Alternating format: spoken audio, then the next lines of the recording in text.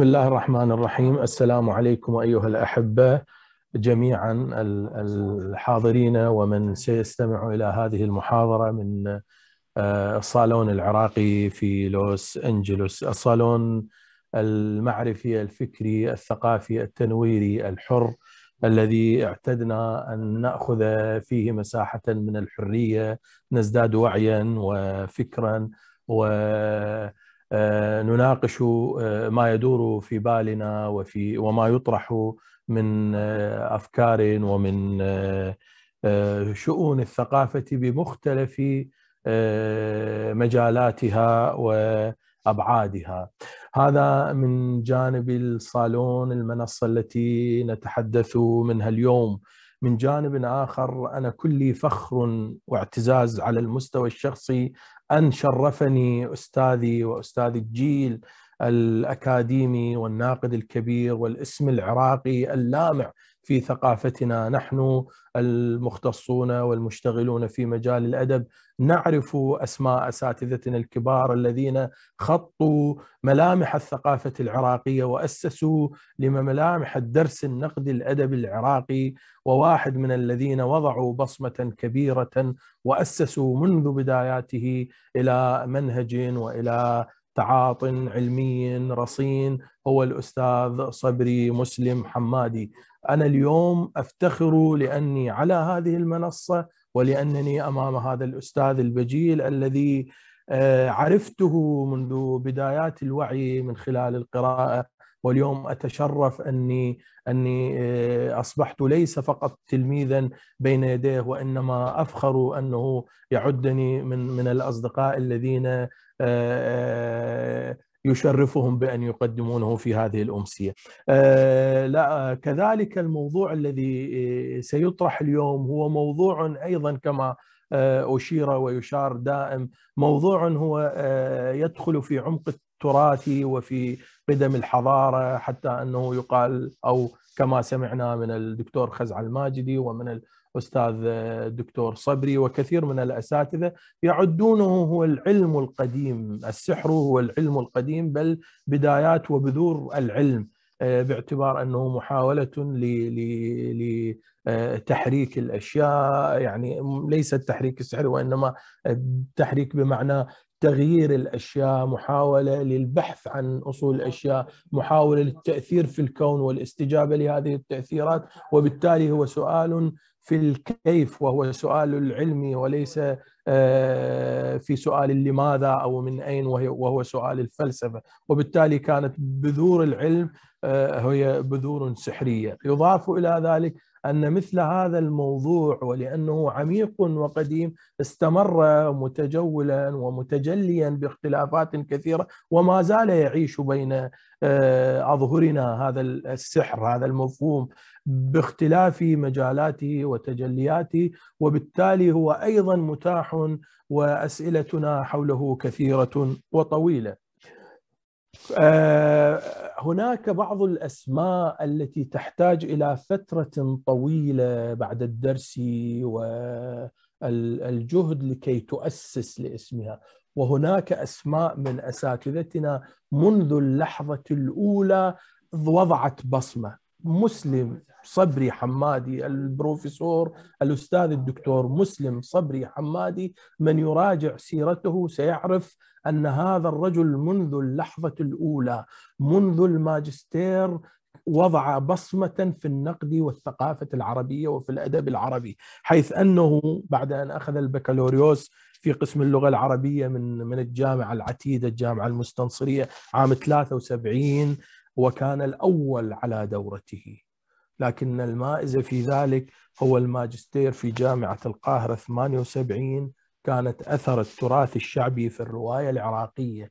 ولا أعتقد أن مهتما أو مثقفا مر على ثقافتنا وعلى التراث الشعبي وعلى الرواية وعلى السرد لا يعرف أن هذا الكتاب منذ اللحظة الأولى أصبح مصدرا ومرجعا مهما في هذه الدراسات، منذ اللحظة الأولى الأستاذ البروفيسور الدكتور آه، صبري مسلم محمدي انطلق بقوة يعني حفر في مجال النقد والسرد بقوة، ثم أكمل ذلك في الدكتوراه التي نالها من جامعة بغداد عام 84 في صورة البطل في الرواية العراقية من عام 28 إلى عام 80 وكانت أيضا أخذها بامتياز وهذا أيضا كتاب آخر أصبح من مصادرنا في الدرس السردي والنقدي الأدبي العربي والعراقي بشكل عام.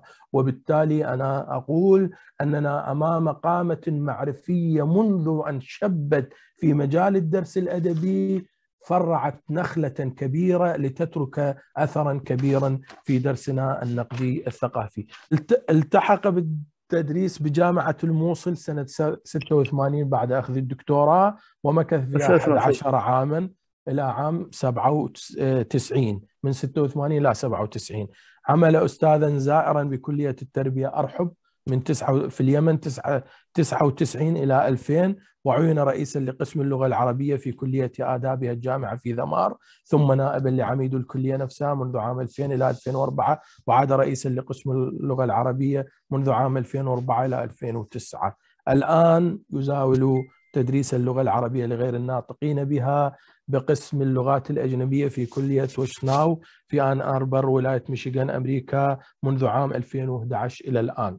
الآن نحن بين يديك أيها الكبير أستاذنا الحبيب دكتور صبري مسلم حمادي وكلنا آذان آه، صاغية لك وقلوب مستمعة. فتفضل.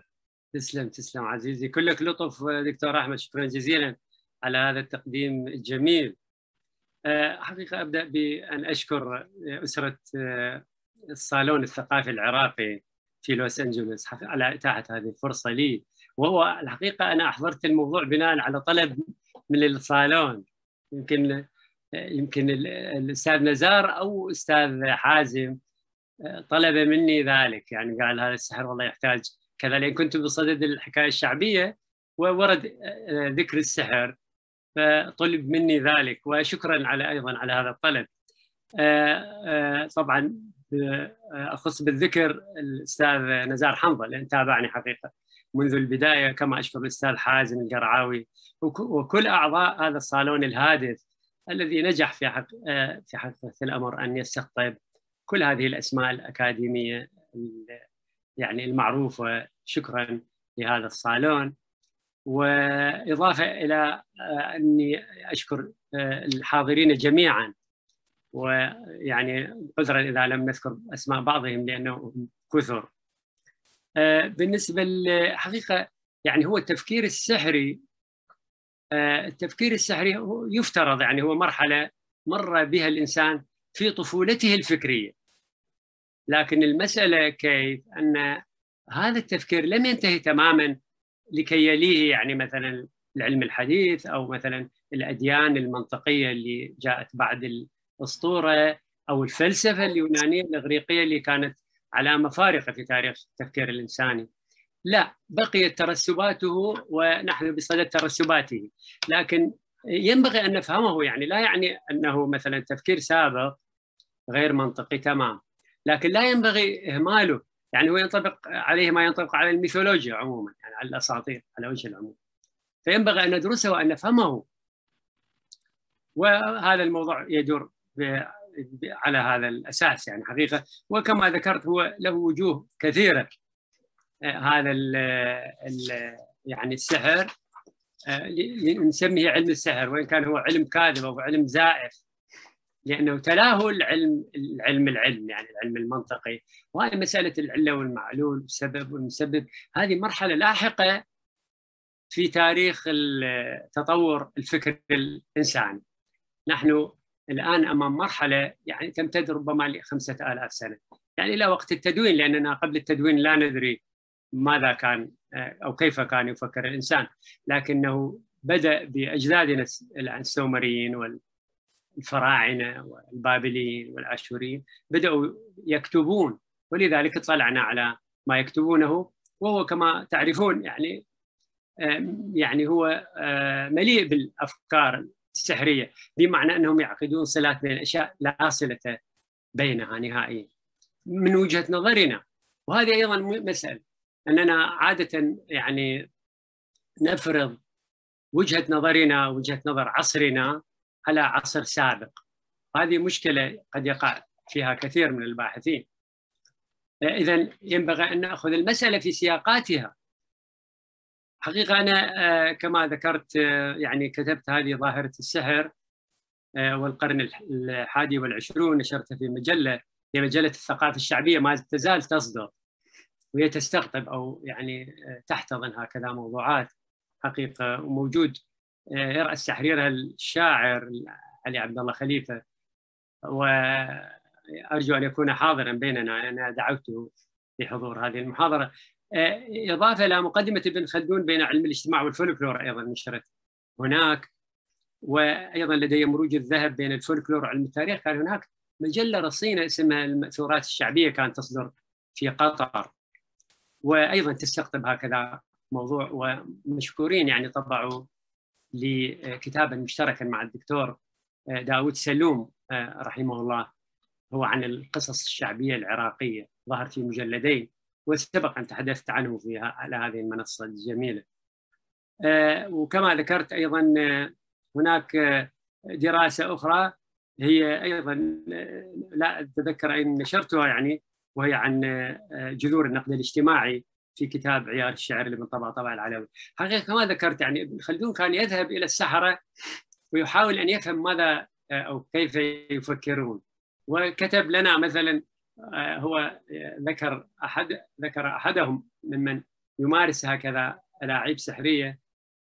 ذكر أنه دانالي ماذا يقصد؟ لا أدري هو لقب كما يبدو.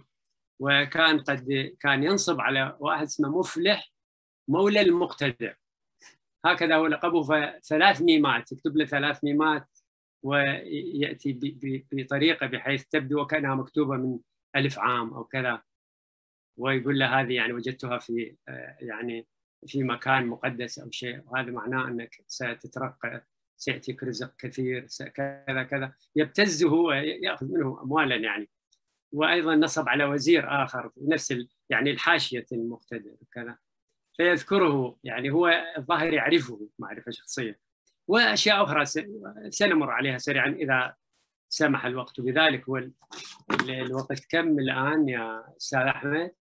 حتى اي تمام. في مجال عندك مجال كثير أستاذنا. الله يسلمك. مروج الذهب بين الفولكلور وعلم التاريخ المسعودي. أيضا هذا الرجل مثلا يذكر هذه البيت الشعر المشهور هو قبر حرب في مكان قفري وليس قرب قبر حرب قبر.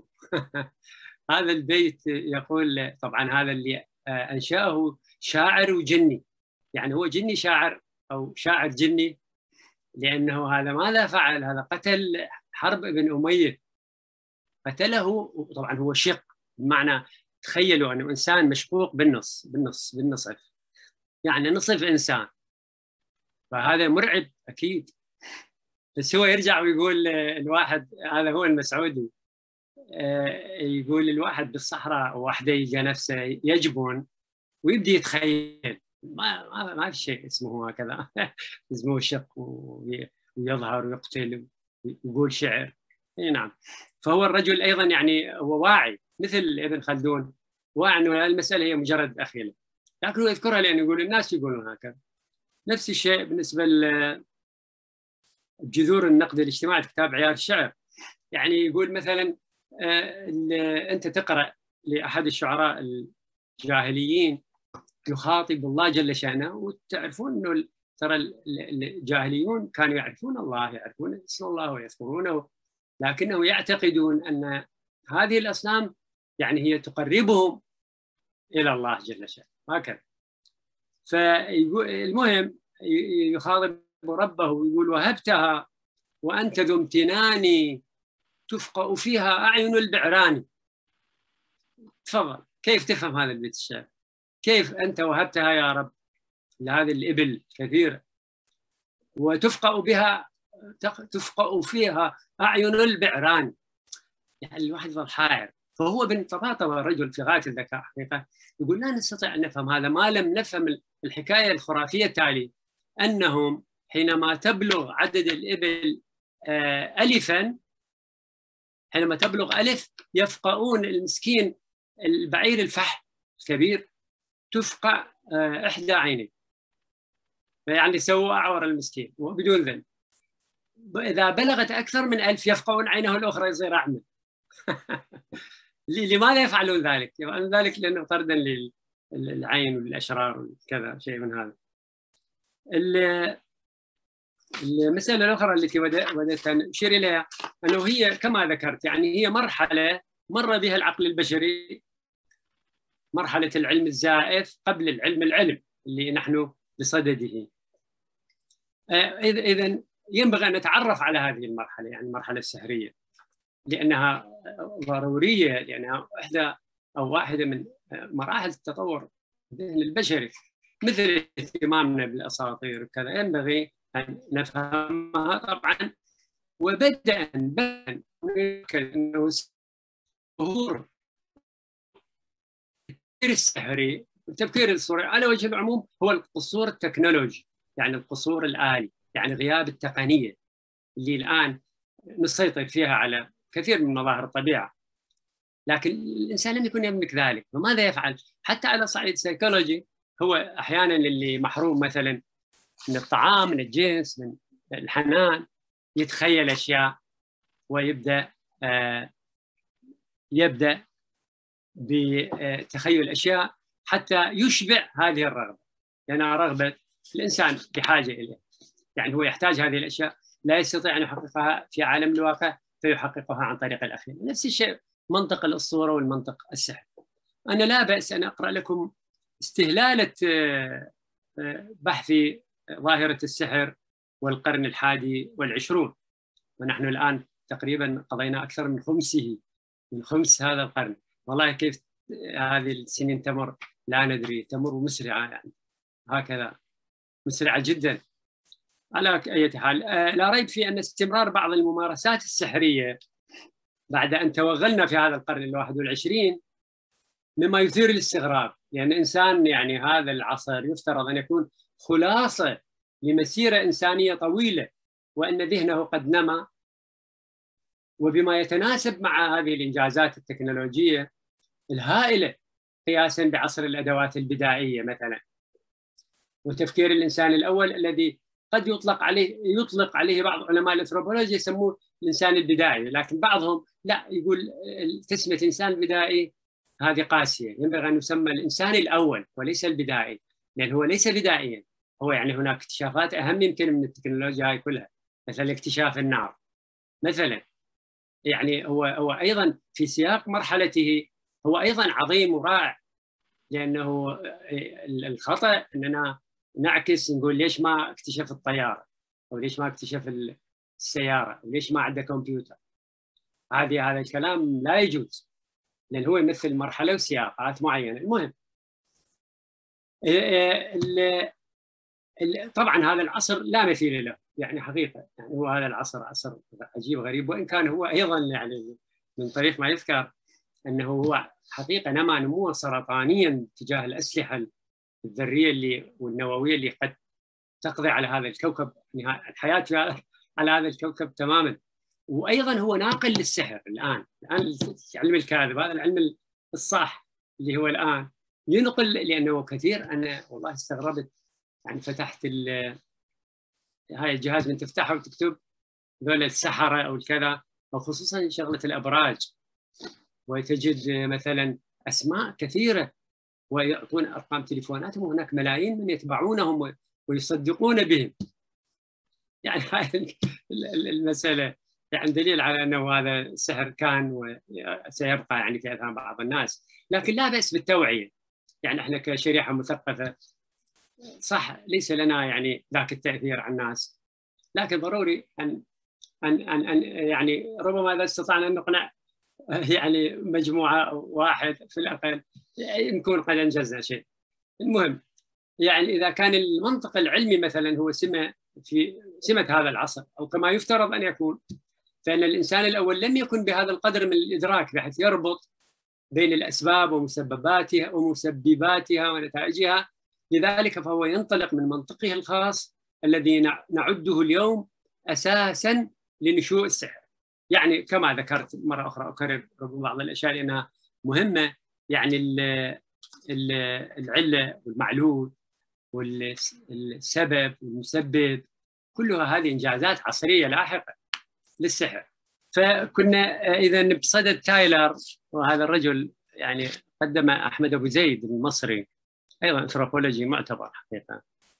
و يعني يقول أنه وأنا قلت يمكن الانثروبولوجيون متفقون على ان نوعي السحر. يعني سحر المحاكاة التشابهي والسحر الاتصالي أو التلامس. حتى نوضح هاي المسألة. يعني المحاكاة بمعنى أنه يحاكي مظاهر الطبيعة كي كي مثلا كي تمطر لأن تعرفون جد مشكلة بالنسبة للبشرية جمعاء ولذلك وقت الجفاف الشعوب تختلف في أسلوب آه، تعبيرها عن هذا هاي المشكلة والمصيبة اللي تصيب البشر وهي مسألة الجفاف فماذا يفعل؟ يقلد يقلدون يعني البدائيون يقلدون آه، صوت البرق مثلا أو صوت الرعد أو أو حركات البرق يعني أو أو مثلا يقول لحد وقت قريب هذا تايلر في أوروبا الشعوب اللي نعتبرها إحنا متقدمة كانوا مثلا يجيبون يعني شمال أمريكا جماعة جماعتنا آه، كانوا يجيبون صبية ويلبسوها ثوب ورق أخضر ويبدأون يصبون الماء فوق رأسها. يعني حتى الطبيعة تشاهد هالمشهد وينزل المطر. هذا سحر محاكاة. أو مثلا مثلا مثلا الإنسان الساحر يطلب صورة للشخص أو حتى اسمه. يعني هو محاكاة للشخص اسمه أو صورته فيحدث بها الضرر حتى يحدث الضرر بمن؟ إذا كان الغرض العفو. إذا كان الغرض هو سحر أسود يعني إلحاق الضرر بالشخص. وإذا كان محبة أيضا. يجري عليه طقوس مختلفة أيضا. كي يحب مثلا زوجته أو يحب الشخص الذي يريد أن يتقرب إليه.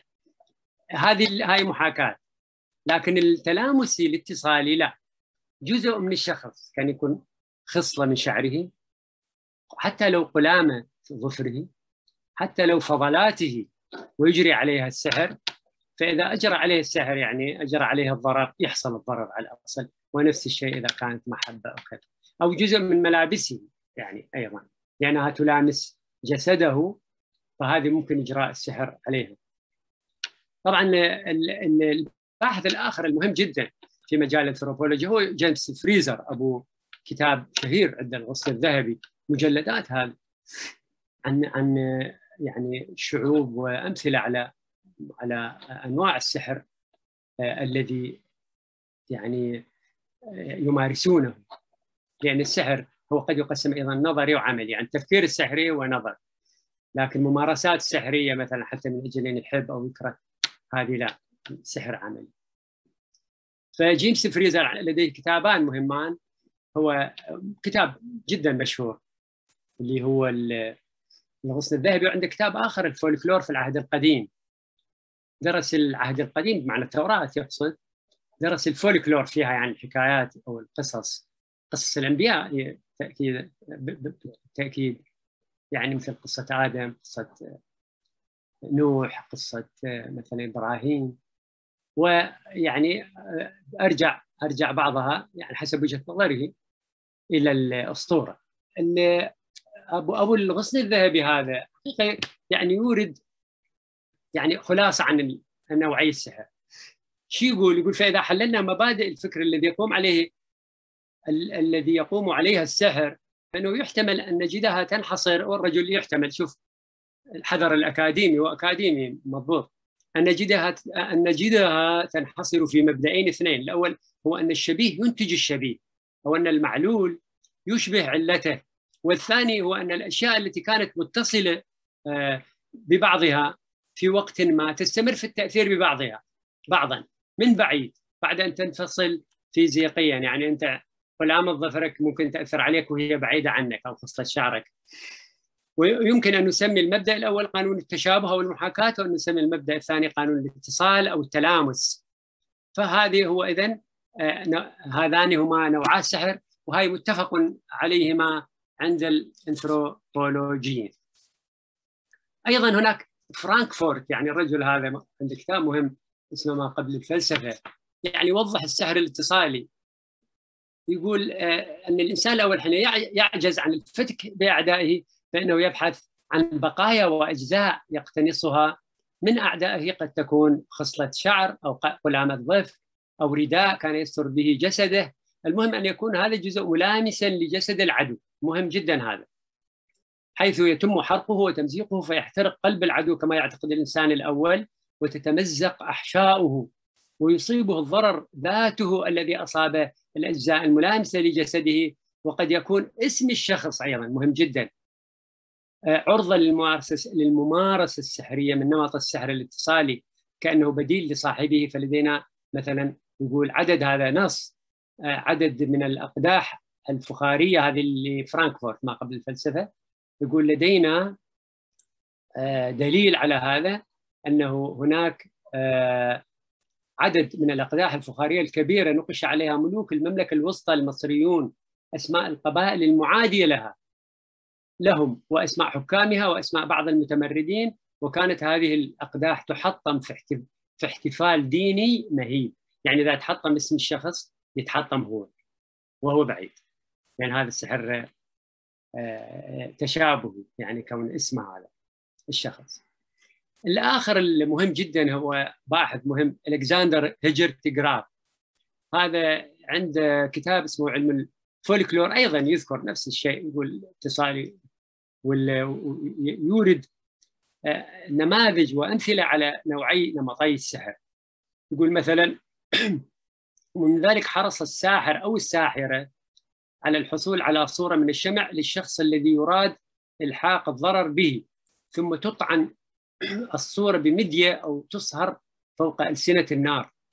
وكما تدمر الصورة على هذا النحو فإن الشخص الذي تمثله الصورة سيمرض ويلقى حتفه حسب ما يعتقد الإنسان الأول.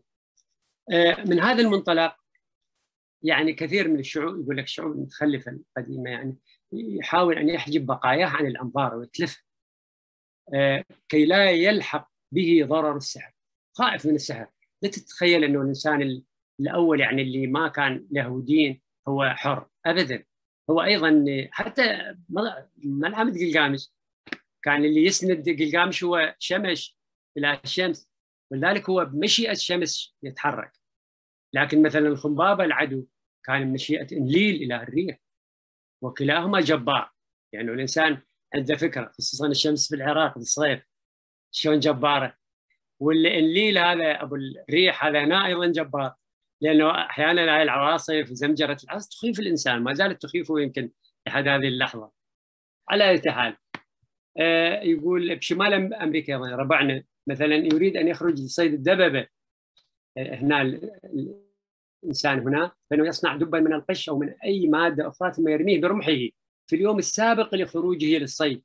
ويعتقد أنه ما دام أفلح في صيد هذلك الدب فهو لابد أن ينجح أيضا حينما يصيده نوع أيضا من انكرج يعني التشجيع لنفسه ولكذا.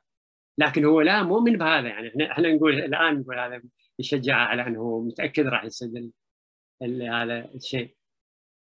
على أي حال بدأ الإنسان الأول يعني يربط لأول مرة بين الأشياء. يعني إذا صب الماء على جسد صبية كما ذكرنا المثال فهو إنما يقلد الطبيعة كي تفعل الشيء نفسه. وإذا أخذ جزء من الجسد فهذا أيضا يعتبر بالنسبة اليه هذه صلة.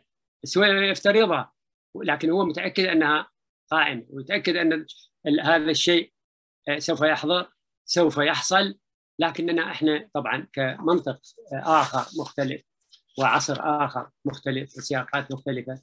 لا نؤمن بهذا بعد أن تطورنا. والفكرة أنه محاكمة معطيات عصر بمعايير عصر آخر الباحث الحقيقي ينبغي أن يتجنبها تماما. وإلا يعني الحضاره العباسية أكيد هي كانت قمه الحضارة في وقتها. لكن ما مثلا ما صنعوا طيارة ولا صنعوا سيارة وهذا ليس عيبا. يعني هذا ليس يعني لا نقل أنها عيب أو أنه لماذا لم يفعلوا كذا. لأن هناك سياقات لكل عصر هناك كما ذكرنا هذا.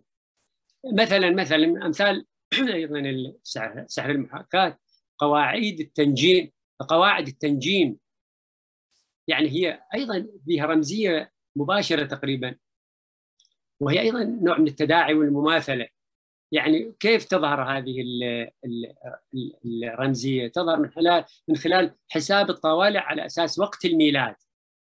المظنون أو الإنسان الأول يعتقد أنه هناك علاقة قوية مباشرة بين الكوكب أو النجم الذي كان طالعا في السماء من الشرق وقت مولد آه، آه، الطفل. وهذا الكوكب له علاقة قوية بحياة الطفل ومستقبله وأيضا مصيره. وطبعا هو نجم بالسماء وأنا موجود هنا. كيف؟ لا علاقة الحقيقة. ولو هذا العالم أيضا غامض سحري حقيقة يعني هو العالم يعني وجود الإنسان على هذا الكوكب هو ملغز أيضا هو عجيب يعني حقيقة. يعني هذه الحركه السريعه للأرض ودوران حول الشمس كذا. تكاد تكون اشبه أيضا بشيء لا يصدق. المهم أيضا التطير والمنطق السحري هذه ما يذكرها أيضا يذكرها الانثروبولوجيون يعني مثلا تايلر شو يقول؟ يقول مثلا كثير من الشعوب آه، تتفائل أو تتشائم من رؤية الطيور البيضاء مثلا تفاؤل الطيور السوداء أو رؤية بعض الحيوانات. ومن اتجاه طيرانها أو سيرها عندما معروفة هي السانح والبارح. يعني إذا الطير مر من جهة اليمين هو آه، هو يعني يدل على التفاؤل من جهة البارح من جهة الشمال. فهو إذا آه، أحيانا لا يخرج للصيد إذا حصل هذا. يعني هو متأكد هذا صح. حتى الاستقسام بالأزلام هو ممارسه سحريه المهم وأيضا ارتباط لاحظ اليد اليمنى بالخيل اليد اليسرى بالشر أيضا. وأيضا الصقور الصقور كانت دليل تفاؤل يعني يعني بيئه صراع البيئه القديمه لأنه ينبغي أن تتصارع حتى تعيش. فايضا مثلا رؤية الصقر الجارح العنيف هذا يعتبر فعل حسن بالغزوات خصوصا. آه، وهناك أيضا شعوب أخرى يقرأون رئة الطيور أكبادها وأحشائها يتشائمون بعضهم من المرأة والدار والفرس وعتبات البيوت. البيوت عتبات ونواصي يعني القصة والعتبة مهمة جدا عند الإنسان البداية وحتى عندنا يعني بعض الناس يعني مثلا ليش يطق بيضة؟ على العتبه أو يذبح على طلي؟ هي من هذا الباب إنه حتى لا يضر يعني وما له علاقة طبعا الطلي مسكين شو العلاقه عتبه البيت كان بعد مثلا مرور شهر أو شهر أو سنة أو أكثر. لابد أن يموت شخص من داخل البيت تمام؟ يعني هذا لا يدفع مثلا القدر آه، على أي حال. العرافه والكهانه عند جماعتنا العرب تتسلل لها كثير من المظاهر السحرية. وهذا السانح والبارح تعرفونه الان ذكرنا. آه، أيضا آه، هي تمام. يعني هي بداية القد مثلا حتى إذا نقول لأنه مثلا عروه بن الورد شو يقول؟ فقلت لعراف اليمامة داوني فإنك إن داويتني لطبيب هو كاهن والكهنة والمنطق السحري موجود لأنه له علاقة بالسعوده والنحوسه كما عبر ابن خلدون في مقدمته وأيضا يخط على الرمل ويتحدث ويقول فلان هذا راح ينتصر علان راح كذا وتتذكرون حكاية لقمان ولبد لبد هو القرين لقمان هو طائر نسر وهذا النسر وقع أمام آه، لقمان يعني حينما في نهاية حياته وقع على شجرة الرطب. هكذا ورد. فدعاه ليطعمه من لحم قد بضعه. لاحظ. فأراد لبد أن ينهض فلم يطق. فماذا قال له؟ بهاي اللحظة لقمان يسجع انهض لبد يا معود انهض. أنت الأبد لا تقطع بي الأمد. ما قدر يطلع خطية وقع النسر. يعني ميتا ووقع بعده مباشرة. آه، لقمان ميتا. وطبعا هذا هذا الرواة يقولون لك ليس هناك شيء من هذا. أكيد يعني. بالنسبة ل تعرفون شريعة حمورابي 282 مادة. ثاني مادة هي مادة السحر. لكن معالجة السحر بتفكير سحري آخر بطقس سحري آخر. إيش ورد فيها؟ هاي مسألة حمورابي يقول إذا رجل اتهم رجل بتهمة السحر ماذا يحصل؟ المتهم والمتهم. المتهم اللي هو قيل له أنت ساحر أنت تمارس السحر. هذا يروح في هناك نهر معين لازم يجتاز هذا النهر. أكيد لو أكيد الفرات. وهذا عريض جدا مسكين إذا ما يعرف يسبح هذا المسكين الساحر يغرق. إذا غرق الساحر هذا اللي الذي اتهمه بالسحر يأخذ ماله وداره حتى داره. المتهم. يعني إذا واحد يتأكد أنه صاحب ما يعرف يسبح يقدر يتهمه. بس إذا تبين أنه نجا هذا الرجل بطريقة أو بأخرى يعدم المتهم يعدم هكذا حسب شريعة حمورابي آه، بالنسبة للإسلام وهي مسألة جدا حساسة. تعرفون مسألة المتدينين يعني مو مسألة يعني الواحد يتحارش لكن هي الحقيقة هو السحر مرفوض تماما من الأديان الثلاثة. يعني السلطة الدينية تكره السحر وترفضه. المتدين يكره السحر. لماذا؟ لأن المتدين يكل كل شيء إلى الله جل شأنه لكن هذا المدعي اللي هو المحتال الساحر يدعي أنه دي, يسير شياطين وجن في سبيل أن يحقق رغبته وهو كاذب لكن ماذا يفعل؟ يفعل يضع احتمالين مثلا هناك سابقا مثلا هناك غزو فهو يحسب يعني لازم يحسب أكو حساب معين حساب النيم يسموه يحسب يقول هذا اللي راح ينتصر فلان على فلان. يحسب اسمه واسم أمه ويشتري كم رقم وأعداد وكذا. معقدة حتى يقول هذا كذا. هو طبعا لو ينتصر لو ينكسر. 50% تمام؟ فإذا انتصر هو يشبر صدره يقول شوف أنا عرفت. لكن من ينكسر يقول لا أنتم ما حققتوا أنا طلبت كذا مثلا كبدة ثور أسود. أنتم جبتوا كبدة جزء ما ثور أبيض. أكو ثور أبيض؟ ما أدري. ثور جوزي. المهم فيعني هو يتحجج لأن يطلب طلبات مستحيلة كما سنرى. السحر مرفوض أنا عددت كم مرة ذكرت ذكر لفظ السحر ولفظ الساحر ولفظ السحرة. كثيرة كثيرة. لكن هناك كتاب حقيقة أعجبني هو الدكتور عبد السلام السكري السحر بين الحقيقة والوهم. وأنا أيضا أطرح لكم هذا عليكم هذا السؤال. هو طرح السؤال التالي. هل السحر حقيقة؟ هذا هو السؤال. وأيضا مطروح على الجميع. أنا أجو... أنا أسمع إجابة. اللي الرأي الأول هو رأي يقول جمهور أهل السنة وعامة العلماء يقولون نعم للسحر حقيقة. الرأي الآخر رأي عامة المعتزلة والقدرية وأبي إسحاق الأسترابادي من علماء الشافعية وأبي بكر الرازي من الحنفية. هو طبعا الدكتور السكري رجح الرأي الأول. لكن شو يقول على الرأي الثاني؟ يقول أن ما يقع من السحر محض خيالات باطلة هاي رأي الفئة الثانية. وتضليل وأنه من أبواب الشعوذة فلا تأثير له اذا البتة لا في مرض ولا قتل ولا حل ولا عقد وإنما هو تخيل لأعين الناظرين ولا حقيقة له سوى ذلك. طبعا أنا مو تماما ويا الراي الثاني لكن أعتقد أنه إذا بقي الشعر السحر في مجال مكائل وكمائل وشمائل وكذا هاي الأسماء هاروت ماروت جاروت فاروت هم يحبون السجع. ما أدري ليش السحرة.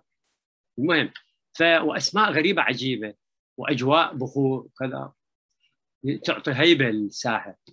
إذا بقي في هذا الإطار ويكتب عني مثلا يريد يأذيني خلي يكتب لي الصبح يعني ما راح يؤذيني على وجه الإطلاق. اكتب اكتب خذ راحتك. سواء يريد محبة يريد كره لا تأثير له البتة كما قال هذا الرجل. لكن متى يكون التأثير؟ المشكلة أنه أحيانا من يعني وهذه حصلت.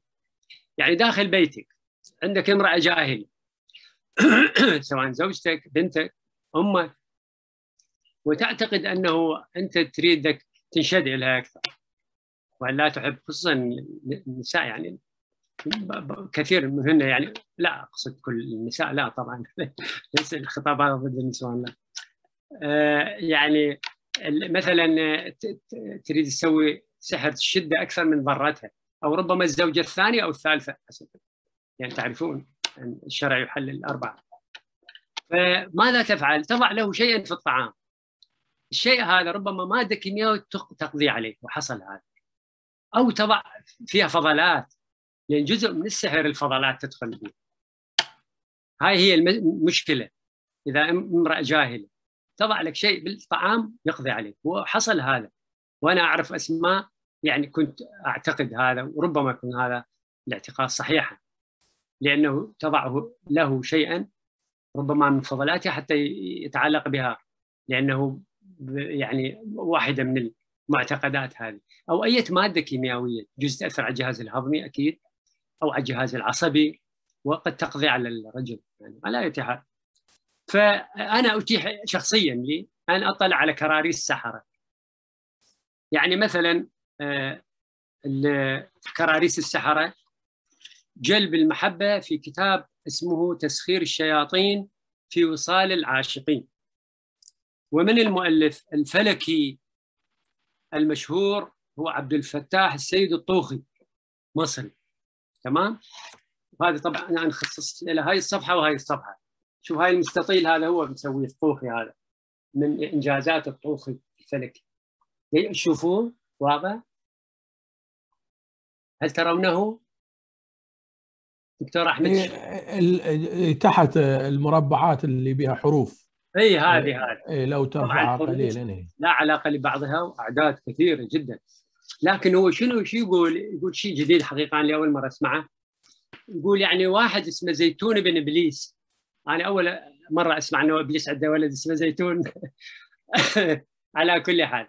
يقول هذا تسخير الشياطين هذا يعني أنت ممكن هو مسؤول عن المحبة هذا زيتون. ويمكن أكو واحد لاخ اسمه لحظة هسه اشوفه ها. آه، سيرد اسمه. هذا يقول آه، هو كذا. يقول تأخذ سراجا جديدا. يعني إذا عتيق ما يصير. طلبات الساحر التعجيزية. لازم تدور على سراج جديد. من طين الفخار الغباري. وتكتب الطلاسم الآتية. هاروت هاروت وماروت أجب. أمرك بكذا كذا. هاروت وماروت اخطف يا أحمر. إحنا أزرق الحقيقة لأن ميشيغان. آه المهم هاروت وماروت عجل يا برقان. برقان هذا اسم جديد. يمكن هم ابن إبليس أو ابن شيطان آخر لا يتحال هذه الأسماء تكتبها على خرقة جديدة من الكتان الأبيض ثم توقدها في قطران وزيت حار. وتتلو القسم 45 مرة. في الطلبات التعجيزية. إذا تغلط تسوي 44 يقول لك هذا هو بطل السحر طبعا. أنت ما تلوت القسم 45 مرة. في كل ليلة مدة ثلاث ليالي. أيضا أحيانا يعني الليلة أيضا يقول لك لازم مثلا ليلة العشرين من رجب أو من شعبان. تظل تنتظر أنت من كذا حتى تتلو هذا القسم. المهم آه يقول هذه آه هذه طبعا يسهل الساحر مهمة أن يبرر فشله. وأيضا مثلا عقد المرأة يعني كيف تعقد المرأة يعني يقول هذا الجن الأشرار. هم طبعا هو يتعامل مع الأشرار من الجن. هو هو يعرف نفسه أنه هو يعني مطارد من السلطة الدينية ومن السلطة السياسية أيضا. ولذلك هو لماذا تخاف منه يمكن السلطة السياسية أحد الآراء تقول أن الساحر هو سلف السياسي الآن. طبعا ليست المسألة بهذه البساطة. لكن لأنه يفترض السياسي الآن أن يكون محتالا. لذلك المتدين حينما يصبح سياسيا يسقط كمتدين يسقط كسياسي يسقط في كليهما. المهم فالجن الشرير المسؤول عن هذا هذا عقد المرأة دكائل وبماثل ورسائل وحبايل ومعايل وبدايل وأسايل. توكلوا يا خدام هذه الأسماء واعقدوا فلانة بنت فلانة عن جميع الرجال وأن تغورها تغويرا. شوف الحقد. أي وهذه طبعا العزيمة مشفوعة بخاتم يتضمن حروفا هاي اللي آه، سوى. نفس الشيء بالنسبة لقراءة الكيف يعني يقول لك هذا الكيف كفك موجود به اولا آه، أكو خط العمر. معروف عمرك إيش قد من خلال الكيف وخط الحظ. أيضا حظك يعني كيف ويا الحظ كلمة نسبية تماما ليس هناك شيء اسمه حظ. لأن هناك أنه إنسان يعني يتوصل أو ظروف مثلا تشجعه أو تساعده على أن يصل لاهدافه وأيضا شوف قراءة الكف المنطق السحري. هذا واحد يعني كلش واثق من نفسه ومسمي كتابه الدليل الصغير لقراءة الكف. زين الدليل الصغير مو كبير. عفوا. يقول الرجل ذو الهيئة الإدارية عنده يد ضيقة طويلة وخط الحياة يحيط بمرتفع فينوس. ومرتفع فينوس صاير السلامية الثانية للإبهام أكثر طولا. لكن الطبيب الجراح السلاميه الثانية للسبابه متينة وأكثر طولا من الأصابع الأخرى. بس المهندس عنده يد مربعة ونهايات ملعقيه عند الإصبع الوسطى. يعني هذا آه، أيضا يعني هذا منطق سحري طبعا. لأنه يعقد صلات بين أشياء لا صله بينها. من طريق ما يذكره علماء الفلكلور الأوروبيون. يقول أنه عدد آه، يقولون عدد الساحرات هناك عبر الأجيال أكثر من عدد الساحر يعني الساحرين من الرجال أو السحرة من الرجال. وكان طبعا كان الكنيسه تحرق الساحر. واحيانا لسبب سياسي بس يقال إنها ساحر مثل جان دارك الفرنسيه آه، اللي ثارت على الاستعمار الإنجليزي انذاك البريطاني. يعني أحرقت بتهمة السحر. وإحنا نعرف إنه هي سياسيه وما لا علاقة لها بالسحر. والرواسب السحرية ترى موجودة عند كل الشعوب لكن شكلها مختلف. شلون النبات الطبيعي؟ بس مختلف تماما. وأنا حقيقة من يعني قد انت لا تستغرب واحد يقود طائرة ويؤمن مثلا بال بانه إذا أشوف غراب أسود ذاك اليوم يتكدر اليوم كله عليه وأنا إلى حد قريب كنت أعتقد كان جدي الله يرحمه عنده قصيدة شفت قراتها مثلا الأحد كذا هذا بس إذا جئت الثلاثة كذا ففي ساعاتها هرق الدماء. كنت أعتقد إنه الثلاثاء هي يوم. بعدين أنا عندي دفتر مذكرات. تبين الثلاثاء كل الأشياء السارة الكذا حصلت يوم الثلاثاء ها وان رمت الحجامه في الثلاثة. فالثلاثة ففي ساعاتها هرق الدماء. الثلاثاء المسكينه إيش عليها؟ بالهرق الدماء. يعني ماليزيا أنا حقيقة زرت ماليزيا. شفت كان أحد أقاربي طالب هناك. فكان أحدهم هو المسؤول عن الكمبيوترات في الجامعة كلها. لكن لاحظت أنه يضع شيء أخضر على جبهته. فسألت هذا التلميذ عراقي هو من أقاربي قلت له هذا ليش حاطها هاي؟ شنو؟ قال لي هاي لا هاي فضلات البقرة. قلت ليش حاطها على قال مو يتبرك فيها ويعبد البقرة. وأنا شفت بعيني طبعا هناك فيديو أنا رأيته. فعلا هناك يعني ناس إلى حد هذه اللحظة يعني يعبدون البقرة وينتظرون أن تباركهم. كان مدربين بقرة فعلا تضع يعني طرفها الأيمن الأيمن تضعها على صدر الشخص وتعيدها بدون أن تؤذيه. أكيد مدربة يعني. فاذا آه، هناك تقسيم أنه اعود على أساس ذكر الأخ دكتور أحمد. قال يعني مثلا خلصت الأسطورة والسحر وكذا اجى دور الدين. الدين منطقي طبعا يقول لك هذا الكون لابد أن يكون له خالق يعني هو سبب مسبب. وراء الدين الفلسفة الفلسفة الإغريقية فلسفه راقية عميقة. يعني هي أيضا نقلة الذهن البشري وراء طبعا مثل ما تفضل أيضا ذكرني دكتور أحمد. يعني الفلسفة طرحت ما هي الحياة ما هو الموت ما هو ما هو الوجود. ما العلم؟ لا ذهب مباشرة. ماكو داعي هالسؤال ما, ما هي الحياة كل هذا الساعة. آخذ cyto cytoplasm protoplasm يعني الخلية النباتية الخلية الحيوانية الخلية كذا وطبق عليه. نفس الشيء بالنسبة شنو هذا الوجود؟ كذا. أخذ الذرة وبدأ آه، الكترونات وبروتونات وكذا. آه، فصار ما يسمى بالعلم الحديث الآن. هذه المراحل مو يعني خلصت مرحلة وبدت آه، المرحلة الثانية وراها الثالثة الرابعة. لا هاي الأربع مراحل موجودة عند كل الشعوب الآن في هاي اللحظة وفي ذهن بشر واحد. إحنا ربما بعضنا يمكن من قراءاتنا من ثقافاتنا تخلصنا من كثير من الشوائب من الرواسب. لكن قسم من الناس ما زال أربع أشياء في ذهنه. يعني السحر بباله موجود وموجودة أيضا ال ال ال هو متدين لابد وهو أيضا متفلسف عنده رأي رأي بالحياة. وهو أيضا يعني على الأقل يدير الكمبيوتر الشخصي الذي الذي يحمله معه. أو حتى الهاتف الآن يحتاج إلى شيء من العلم. مشكلة قراءة الأبراج. نفس المشكلة أيضا هذه. يعني بس تقسيمه إلى سحر ابيض سحر أسود. يبدو لي السحر ليس فيه ابيض لأنه لأنه قائم على الوهم حتى السحر الأبيض. سواء تقرأ مرات واحد يسمع. مثلا أنت مثل هذه الأغنية اللي يقول لك اسمه وراك سفر وصرة فلوس وما شنو. يعني ما يضرك بس يعني هو أيضا يعني لا لا تحتاجه. يعني ينبغي أن أن تنبذه كعقلية معاصرة كما أرى. لكن على كل حال ال ال يعني السحر ليس فيه من وجهة نظري سحر أبيض وأسود لكنه يقسم على هذا الأساس. يعني المحبة مثلا سحر أبيض. وإن كان هذا يذكرني برواية لجعفر الخليلي حقيقه رواية اسمها الضايع. البطل مالته هاي مشكلة أخرى. كانوا يؤمنون بها إنه جنية قد تحب تحب بشر وتأخذه معها. فأخذت هذا بطل روايه الضايع إلى هناك. لا بطل في قرى الجن الضايع لا بطلها درويش لكن ذكي. هو لا يؤمن كذا ويكتب لها شغلات يعني مثل بسم الله الرحمن الرحيم يعطيها يقول هذا دعاء وراح يحبك زوجك بس أنت شلونك وياه؟ يعني أنت مهتمة به زين إيش تقدمي له كل يوم؟ زين بالغداء هو ياكل بالعشاء بالكذا زين أنت شلون تعاملي؟ يعني إذا يغضب شلون تقولي له؟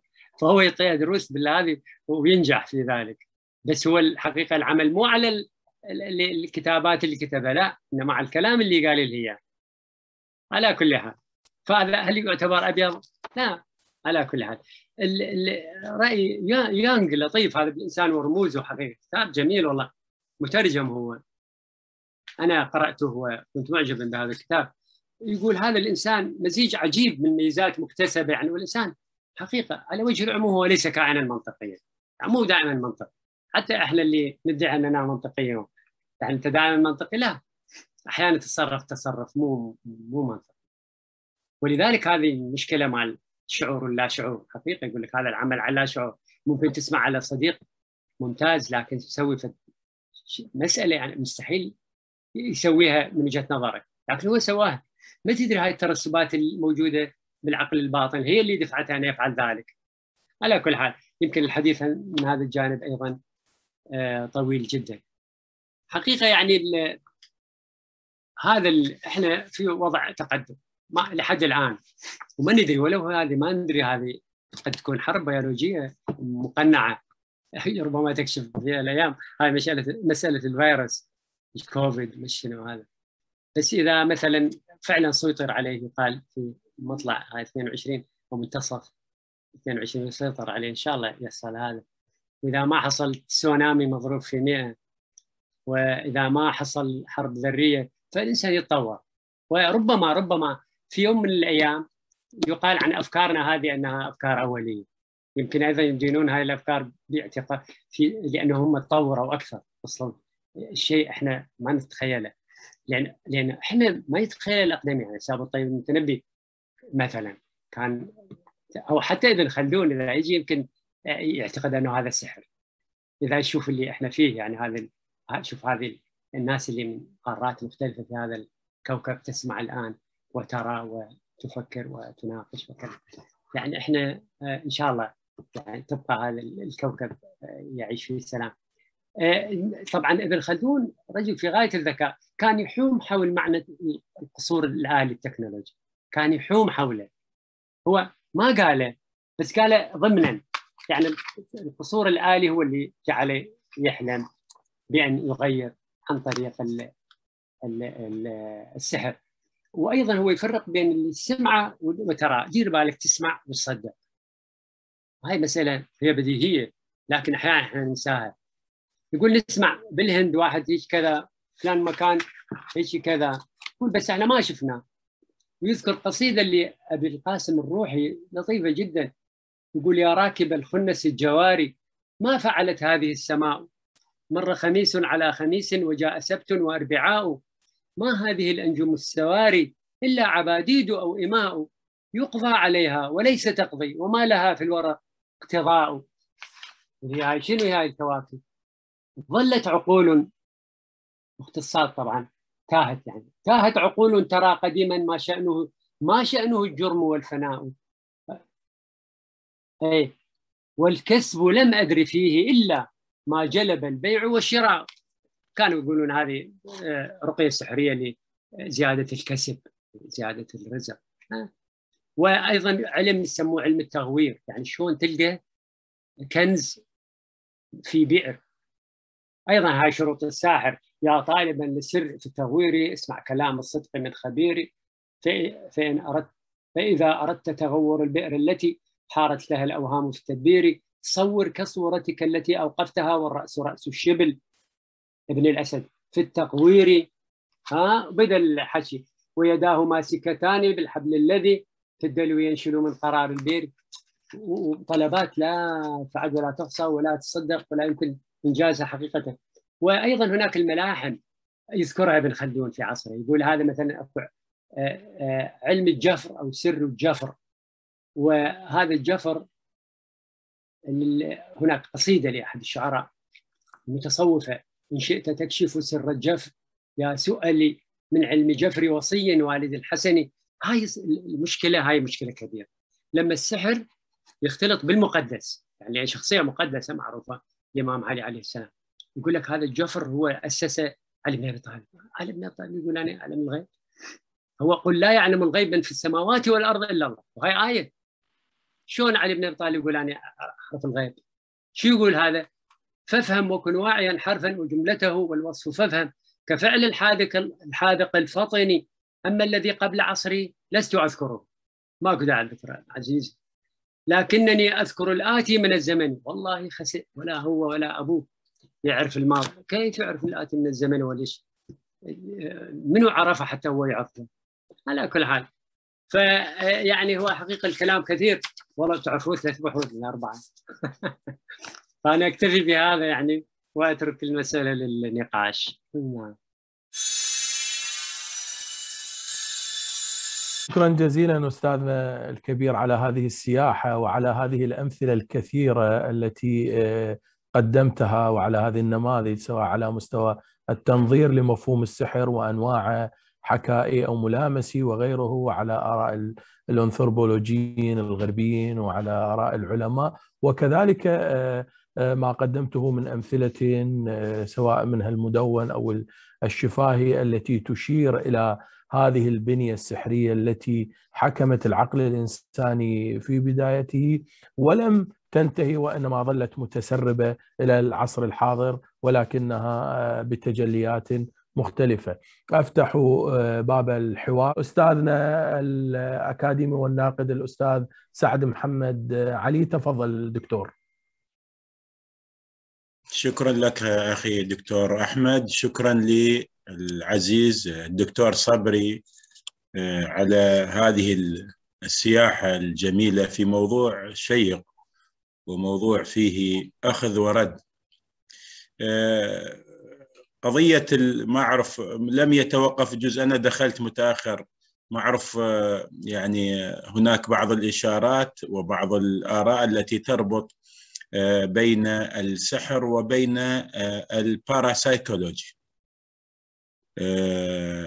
آه، كراولي صاحب كتاب القانون يعتبر السحر هو واحدة من الإمكانات اللي يمكن أن يوفرها الباراسايكولوجي أيضا قضية الفصل بين أشار الدكتور صبري بين الشعوذة وبين السحر وبين الخفة.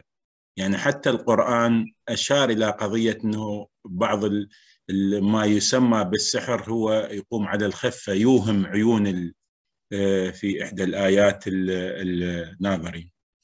يعني كان بدي أنه آه، لو آه، انتقل وأكيد عند الدكتور ويمكن يحتاج لها محاضرة أخرى يعني عن هذا التوظيف للسحر في في الأدب على مر العصور بدءا بالآداب القديمة وانتهاء حتى في الآداب حتى مع ظهور الإسلام. بقي السحر ملازم للأدب. وحتى يعني يوصف جمال أحيانا التعبير في القرآن ومن البيان إلى سحره يوصف بالسحر. آه، هذه العلاقة بين الأدب باعتبار يقوم على المغايرة وعلى التخيل وبين آه، خطاب السحر. قضية السحر والدين يعني قبل الديانات ارتبط السحر بالدين. لا يمكن الفصل يعني عندما نتكلم عن الكهنة في الحضارة البابلية والسومرية وحتى الفراعنة كيف يتم الفصل بين السحره وبين الكهنة اللي هم خلينا نقول عماد هذه الديانات الوثنية. فما أعرف يعني فقط علاقة سؤالي للدكتور ما أعرف مر على انتبه لقضية علاقة السحر بالباراسايكولوجي وكتاب ألستر كراولي عنده كتاب القانون. اللي آه، أشار إلى أن السحر ممكن الانسان ضمن مقومات الباراسايكولوجي أن يتمكن فيتحكم ببعض القوانين الفيزيائية. شكرا لكم دكتور.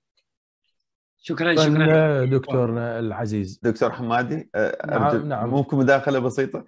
آه، أرجو المعذرة دكتور صبري. حياكم الله. أنا بس حبيت إنه أنتهز الفرصة في بداية الحوار وأذكركم بسؤال الصالون. إحنا آه، عادة ما نسأل المحاضر الكريم جنابك آه، دكتورنا الفاضل آه، أن أن تتحفنا بثلاث كتب تعتبرهم رفاقك في في رحلة ما. فالسؤال الافتراضي إنه لو جنابك في رحلة ما هي الثلاث كتب التي سوف تصطحبها معك؟ إن شاء الله تجي تجي أذهب الآن إلى الأستاذ شيروان مصطفى. تفضل أستاذنا العزيز. السلام عليكم. شكرا دكتور أحمد شكرا على هذه الفرصة. شكرا للصالون العراقي أستاذ حازم. شكرا للدكتور صبري. حقيقة موضوع لطيف جدا وموضوع جديد وبه افكار كثيرة. يعني بودي يعني شوي أعلق على واحد من علماء عصره اللي يعني ربط بين العلم والسحر. اللي هو آه، آه، دكتور نيكولا تسلا. يعني نيكولا تسلا يعتبر يعني في عصر عالم العلماء. عدد من من شهادات الدكتوراه اخذ عدد من أخذ جائزة نوبل بالفيزياء طبعا. آه، يعني تنافس ويا ويا مخترع الكهرباء وتقريبا هو اللي تفوق عليه. يعني المهم الموضوع شلون هو ربطه؟ يعني هو كان مؤمن بالسحر بصراحة وبالبدايه يعني اكتشف أنه قسم من السحرة من يطلق فد صوت معين على قدح يكسره. فهو اكتشف هذه النقطة يعني شلون يقدر هذا الشخص من يطلق آه، صوت معين على قدح يكسره؟ آه، فهو قال كل آه، طبعا جزيء بالأقل من النيوترون وال, وال, وال يعني الإلكترون. أكو جزيئات تطلق رنين شحنات محددة. هذه الشحنات إذا تتداخل ويا الشحنات اللي يطلقها مثلا القزاز يكسرش فلذلك هسه مثلا إحنا نشوف نبات يم الجبال يقول لك لا تطلق هورن لأنه ممكن الرنين مال الهورن يوقع ثلج أو يوقع صخور إذا توافقت الذبذبة مال. هي شوف هذا علم يعني هذا مو سحر طبعا. بس كانوا السحرة السحرة يستغلوه حتى بس هو بعدين مشى خطوة للأمام. آه، يعني قال إحنا وطبعا هذه الخطوة هو طلع بها نظرية الكوانتم. الكوانتم مثل نظرية يعني كلش رائجة رائجة بشكل بحيث هسه IBM تصنع حاسبات ال quantum اللي هي يعني super computers يعني أكبر من قدراتها أكبر من هاي ال computers اللي عندنا بملايين المرات. نعم. السحر وين؟ يعني هي النظرية مال ال quantum الذبذبة اللي تطلقها كل جزيء بالبشر العفو بالطبيعة. آه، يقول مثلا إنه هذه طبعا هسه بدأوا يطبقوها إنه لو يعرف الذبذبة مال جزيئة السرطان يقدر يوجه عليها ذبذبة مطابقة لها تدمرها وأكو بحوث على هذا الحكي. طبعا تسلا يؤمن بسحر ال... هذه الذبذبة يعتبرها سحر. يعني هو يؤمن بسحر الأرقام أيضا الثلاثة والستة والتسعة لأنه بها فعلا بها فد نوع من الخصوصية. هاي الأرقام يعتبرها سحر. واستخداماتها يعتبرها بنوع من السحر. مثلا هذه الذبذبة التوافقية يسموها الرنين الميكانيكي. جسر تاكوما اللي هو بأمريكا واشنطن انهار لأنه جتي ذبذبة من من من يعني ذبذبة من من يعني ما موجة من من من صاعقة أو كذا توافقت ويا الذبذبة اللي وقع الجسر انهار. هي ما كان اكو قوه هائلة توقع هيك جسر عملاق. فنظرية الكوانتم هي بين السحر وبين الخيال. يعني أنت قلت جنابك قلت يجوز إحنا بالمستقبل. أكو, أكو أشياء آه، يعني إحنا راح يجي, يجي يوم فواحده من الأشياء المهمة اللي هو حكى عنها الذبذبة بالموسيقى. وهذه هسه بدات تأثر تأثير كبير بالمجتمعات اللي هي الذبذبة البناءة. يعني قسم من علماء خلينا نقول الموسيقيين الكبار يبني السيمفونيات مالته على ذبذبة معينة بحيث تعمر الدماغ. بالمقابل أكو ذبذبات تدمر للدماغ. يعني شفت يعني نفس الحكي مال الكوانتم مال تسلا اللي هسه أنت أكو أكو يسموها مخدرات رقمية تنتشر. سماعات اثنين يعني صايرة فالظاهرة مرعبة. يعني المجتمعات تقلق من عندها. موسيقى بس تدمر أو تسوي نوع من الإدمان وهلوسة وإلى آخره. هي كلها بداها تسلا سوى سوى.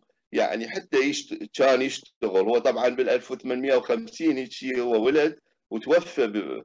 بال... بعد الحرب العالمية الثانية أعتقد. أو العفو ما متأكد بال... فبس بس النظرية هذه مالته سحر الذبذبة اللي تطلقها كل كل ما موجود بما فيها سحر الأرقام اللي هو تستخدم. أكو ذبذبات تربط بين الإنس هو حسب ما يقول ما أدري يعني هذا الحكي ما ما أقدر أني أقدر يقول. أكو ذبذبات تربط بين الإنس والجن تربط link تربط توصل message إلى آخره. مدى دقة هذا الحكي؟ ما أدري. شكرا جزيلا إذا علقت على هذا الموضوع. شكرا جزيلا لك أستاذ شروان. آه الآن آه ننتقل إلى الدكتورة نورة. تفضلي دكتورة. مساء الخير. مساء الخير أستاذة أهلا وسهلا. آه للأمانة أنا أول مرة أشارك وأول مرة أدخل البث فتشرفت فيكم كلكم. وهذا شرف إن تفضلي. أنا عندي يعني ممكن وجهة نظر أو يعني ممكن تختلف شوي يعني لأن سمعت المحاضرة بشكل يعني دقيق. فما التمست وين الجانب الحقيقي؟ عرفت؟ فأنا عندي وجهة نظر بخصوص أن السحر وهو عامل نفسي. يعني مثل ما يقولون في يعني كلمة يعني أصلها لاتيني اللي يقول I will harm اللي هي يعني مثل أنا راح اذي نفسي فأقول يعني اعتقادا في الشخص إنه يقول أنا التمست أنا فيني سحر أنا فيني مرض الفلاني فيكون فيه. فهذه مثل اللي يسمونها psycho psycho psychosomatic أعتقد. psychosomatic أيوه بالضبط. اللي هي مثل إن الواحد يعتقد بالشيء يعني حالة نفسية أنا أعتقدها. لانها تأثر آه، على شنو الجهاز الهايبوثلاموس. فأعتقد إن الإنسان يعتقد انه إذا كان يعني أنا مريض أنا مريض فيوسوس على نفسه أو يكثر الكلام على نفسه فيدخل في حالة نفسية فيعتقد إن هذا فعلا حقيقي. أنا للأمانة يعني مو مو ضد الشيء هذا لكن باعتقادي انه أمر نفسي. يعني هذه أمراض نفسية. ف يعني الحين في زمننا هذا ممكن تختلفون معي أو تتفقون. في زمننا هذا عندك الولايات المتحدة وال آه، يعني الاتحاد الأوروبي أو الغرب أو روسيا بشكل عام تتكلم عن الكائنات الفضائية وشغلات وهمية يعني ما تتصدق. وصلوا للقمر وغيرها يعني. أنا أؤمن بالعلم أؤمن بالعلم. لكن الشغلات هذه خارقة. ما أنا ما شفتها. فشلون أصدقها في الشيء هذا؟ فأعتقد إن في وجود الديانات أساس يتمسك الشخص في دينه ويحمي نفسه فرضا يعني من أذكار أو غيره آه لازم يعني يخلي الشخص يلتزم بدينه على أساس لا يحوش السحر. فهذا كان جانب من الجوانب. يعني مثل الحين الغرب يقول لك آه يعني إن في قوة خارقة وفي قوة أو ايا كان فهذه تكون تأثر يعني مثل آه شيء شلون يعني؟ لما أتكلم بشكل عام آه من الناحيه السياسيه في آه مثل ما حصل في السبعينات في ثورة خميني وما حصل من تشدد آه في السعودية وخروج يعني صار اشتباكات بين السنة والشيعة وغيره وهو اسلام واحد. فأنا ما أبي أتشعب بالشيء هذا أو أتخصص لكن بشكل عام لكل فعل ردة فعل. فأعتقد أن الإسلام أو الديانات بشكل عام الديانات السماوية خرجت للشيء هذا وهذاك شيء مضاد على أساس إن الواحد يحمي نفسه. وشكرا لكم وآسفة على الإطالة. شكرا دكتورة شرفتي أهلا وسهلا. أه الدكتور عباس تفضل دكتور. آه شكرا دكتورنا العزيز. آه شكر جزيل لاخونا الباحث الدكتور صبري. آه سؤالي جدا بسيط. الدكتور صبري من خلال بحثه في موضوع السحر وهو الموضوع شا يعني مشوق حقيقة. سؤالي كلمة السحر وردت في القرآن الكريم أكثر من مرة. هل سؤالي هل إنه الورود هل كلمة في القرآن الكريم أو هل الموضوع هذا هو اعترافا من القرآن الكريم أو من الله سبحانه وتعالى بوجود السحر كحقيقة واقعة أو ذكرت في القرآن الكريم عرضا لتشير إلى ظاهرة اجتماعية أو ظواهر يعني يعني في ذاك الوقت أو في في الأزمنة السابقة يعني هل هو حقيقة واقعة يعني اعترافا اعتراف ضمني من القرآن الكريم أو لا؟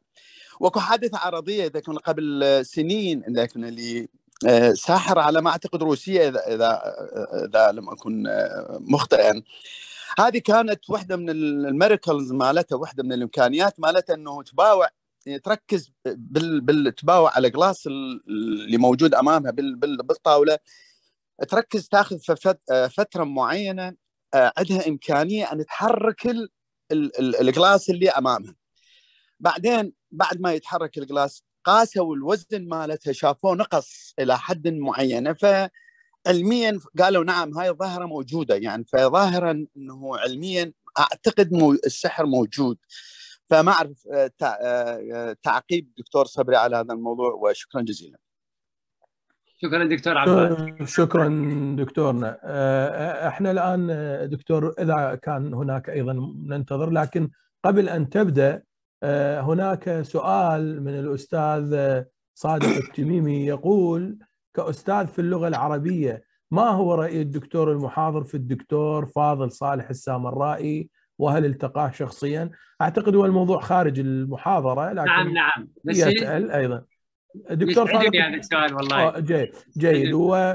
وأيضا سؤال من أنسام العبيدي. تقول وفق خبراتكم المميزة. إذا سمحتوا كيف يميز الإنسان العادي غير ذا الخبرة العميقة بهذا المجال؟ أنه مسحور فعلا أم لا؟ وكيف للإنسان أن يتخلص منه أو يقي نفسه؟ أه ما أعرف وصلك السؤال دكتور؟ نعم نعم. أعتقد هاي بسبب هاي قراءة قراءة التعاويذ وكذا اعتقدوا إنه أنت عندك قدرة على فك السحر. عندي عندي عندي هاي القدرة. دكتور أستاذنا الفنان الكبير دكتور جبار تفضلوا. آه شكرا جزيلا أعزائي شكرا للصالون الثقافي على هذه المحاضرة القيمة أستاذ صبري و... وأنا أصغيت لها إصغاء عميق لأن الفن يرتبط بالسحر يعني حسب ما يقولون علماء الجمال من ناحية البعد الجمالي المؤثر على الآخر بحيث الجاذبية الكبرى إذا كان الفن فيه قوة تأثير على المتلقي كأن المتلقي سحر بهذا الخطاب فتفاعل معه وأثر فيه. فكثير من الفنون وخاصة المسرح غيرت وأثرت بالجمهور وخرج إلى الشارع وكأن هنالك قوة سحرية أثرت فيهم فحولت أفكارهم إلى أفكار جديدة وهكذا. حتى أرسطو عندما آه، أوجد لنا مصطلح التعرف والتحول فأنت عندما تعرف المعنى العميق تتحول فكريا وسلوكيا. وهذا عنصر التحول والتحويل هو أيضا مرتبط بفقه السحر بمعنى آه، هل السحر هو جذب اللامرئي إلى المرئي؟ يعني أنت الآن في واقع مرئي وثم آه، هل هو وهم يعني بمعنى تسحب اللامرئي اليك فتنقاد إليه والمسرح حقيقة اشتغل على هذا المفهوم اشتغال خاص.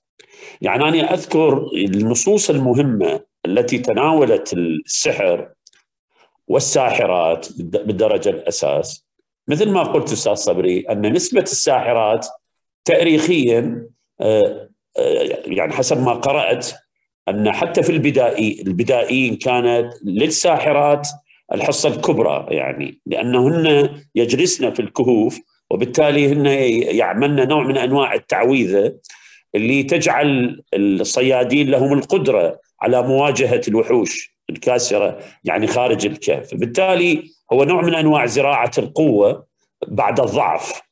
فمثلا أعطيك مثال وأعطي للزملاء. مسرحية مكبث لشكسبير آه، تقوم على آه، ساحرات. أن مكبث جاء بعد معركة من المعارك فالتقت به الساحرات وقالت له ستكون ملكا هو يعني في وقته يعني داخل المسرحية لم يصدق. لكنه آه، أعطت له بعض الإشارات بأنك ستكون ملكا لكنك ملك عقيم. وإن صديقك آه، سيقتل لكن ابنائه سيكونون ملوكا. يعني هم كانوا زملاء يمشون. فمشت يعني سارت المسرحية وفعلا آه، قتل مكبث وبعد أن أصبح ملكا وزميله بعد أن قتل ابنائه أصبحوا ملوكا. هنا إحنا ندرس المعنى أن آه، شكسبير هذا الذي أثر في ثقافة الشعوب كثيرا عندما ينطلق من فكرة سحرية أو عندما ينطلق من شخصيات آه، سحرية تعالج الواقع وتفتح نافذة إلى المستقبل. هذا يجعلنا أنه أننا بين كفتين إحنا إحنا كأشخاص بين كفتين نتحرك إلى الامام، كفة المرئي الواقع وكفة اللامرئي اللي هو المتخيل المستقبل. فبالتالي السحر هو نوع من أنواع الأمنية المضمرة، أمنية المضمرة داخل الذات لتحقيق ما لم يتحقق في الواقع.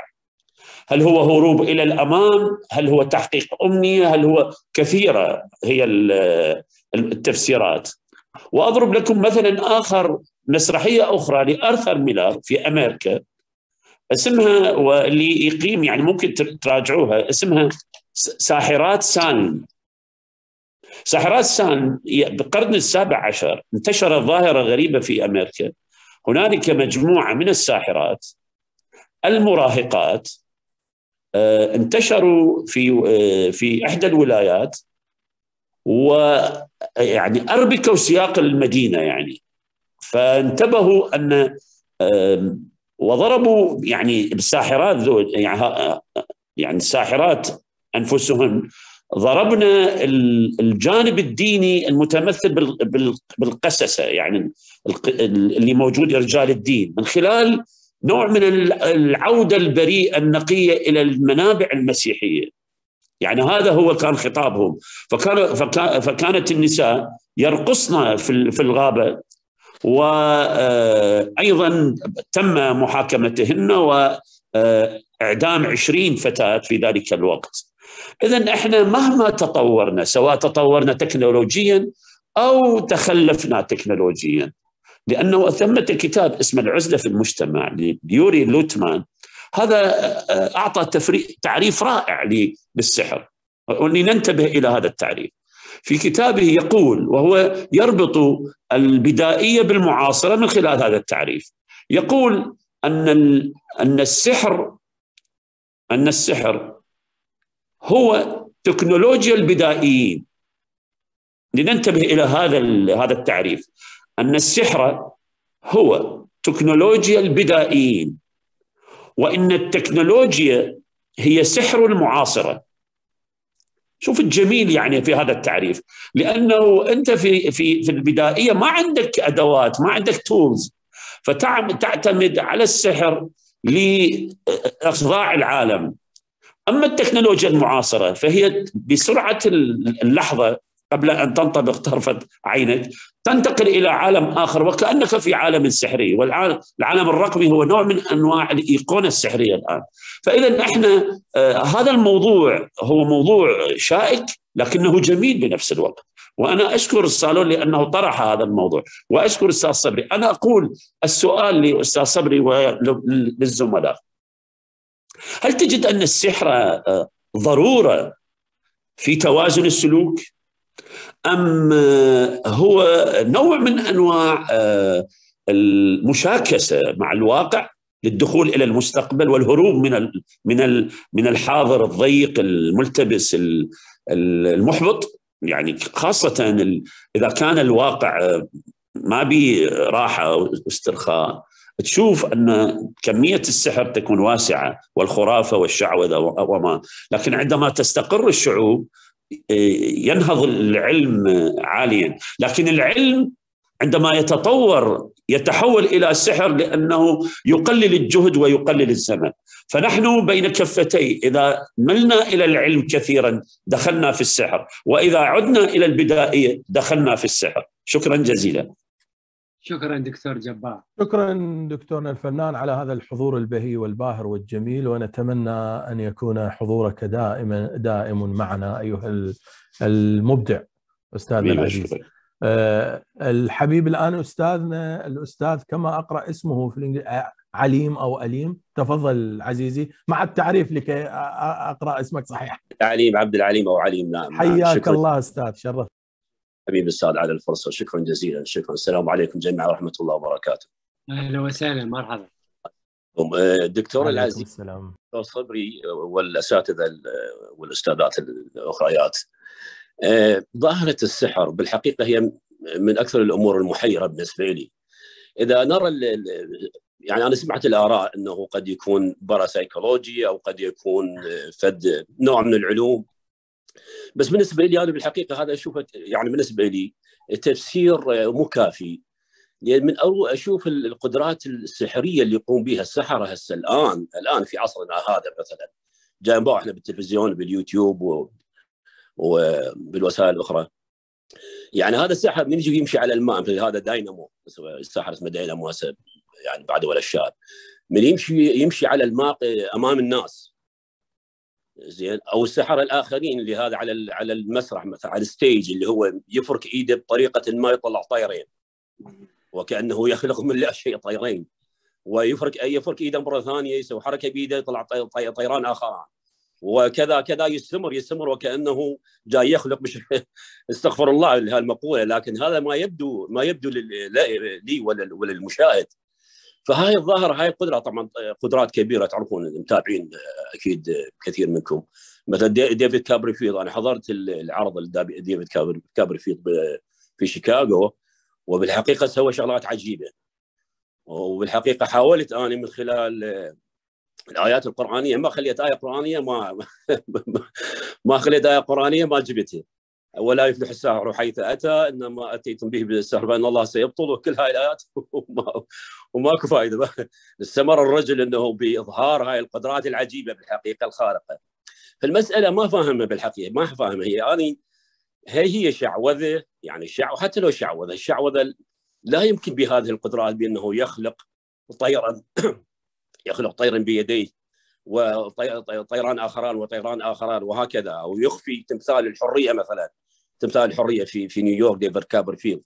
يخفي عن الأنظار أو يقسم الإنسان نصين ويفصل بينهما. يعني هل الأمر هذا هو هل هو علم أو كما يقال إنه هؤلاء لديهم لديهم مقدرة بعقلية؟ لأنه سمعنا إنه مثلا الانسان يستخدم 2% 2% من من قدراته العقلية وهؤلاء ربما يستخدمون 3% أو 4% لأن الأمور هاي غير معقولة وهذا الذي يمشي على الماء. فالشيء هذا هل هناك تفسير علمي لهذا الأمر؟ فالأمر بالحقيقة محير بالنسبة لي.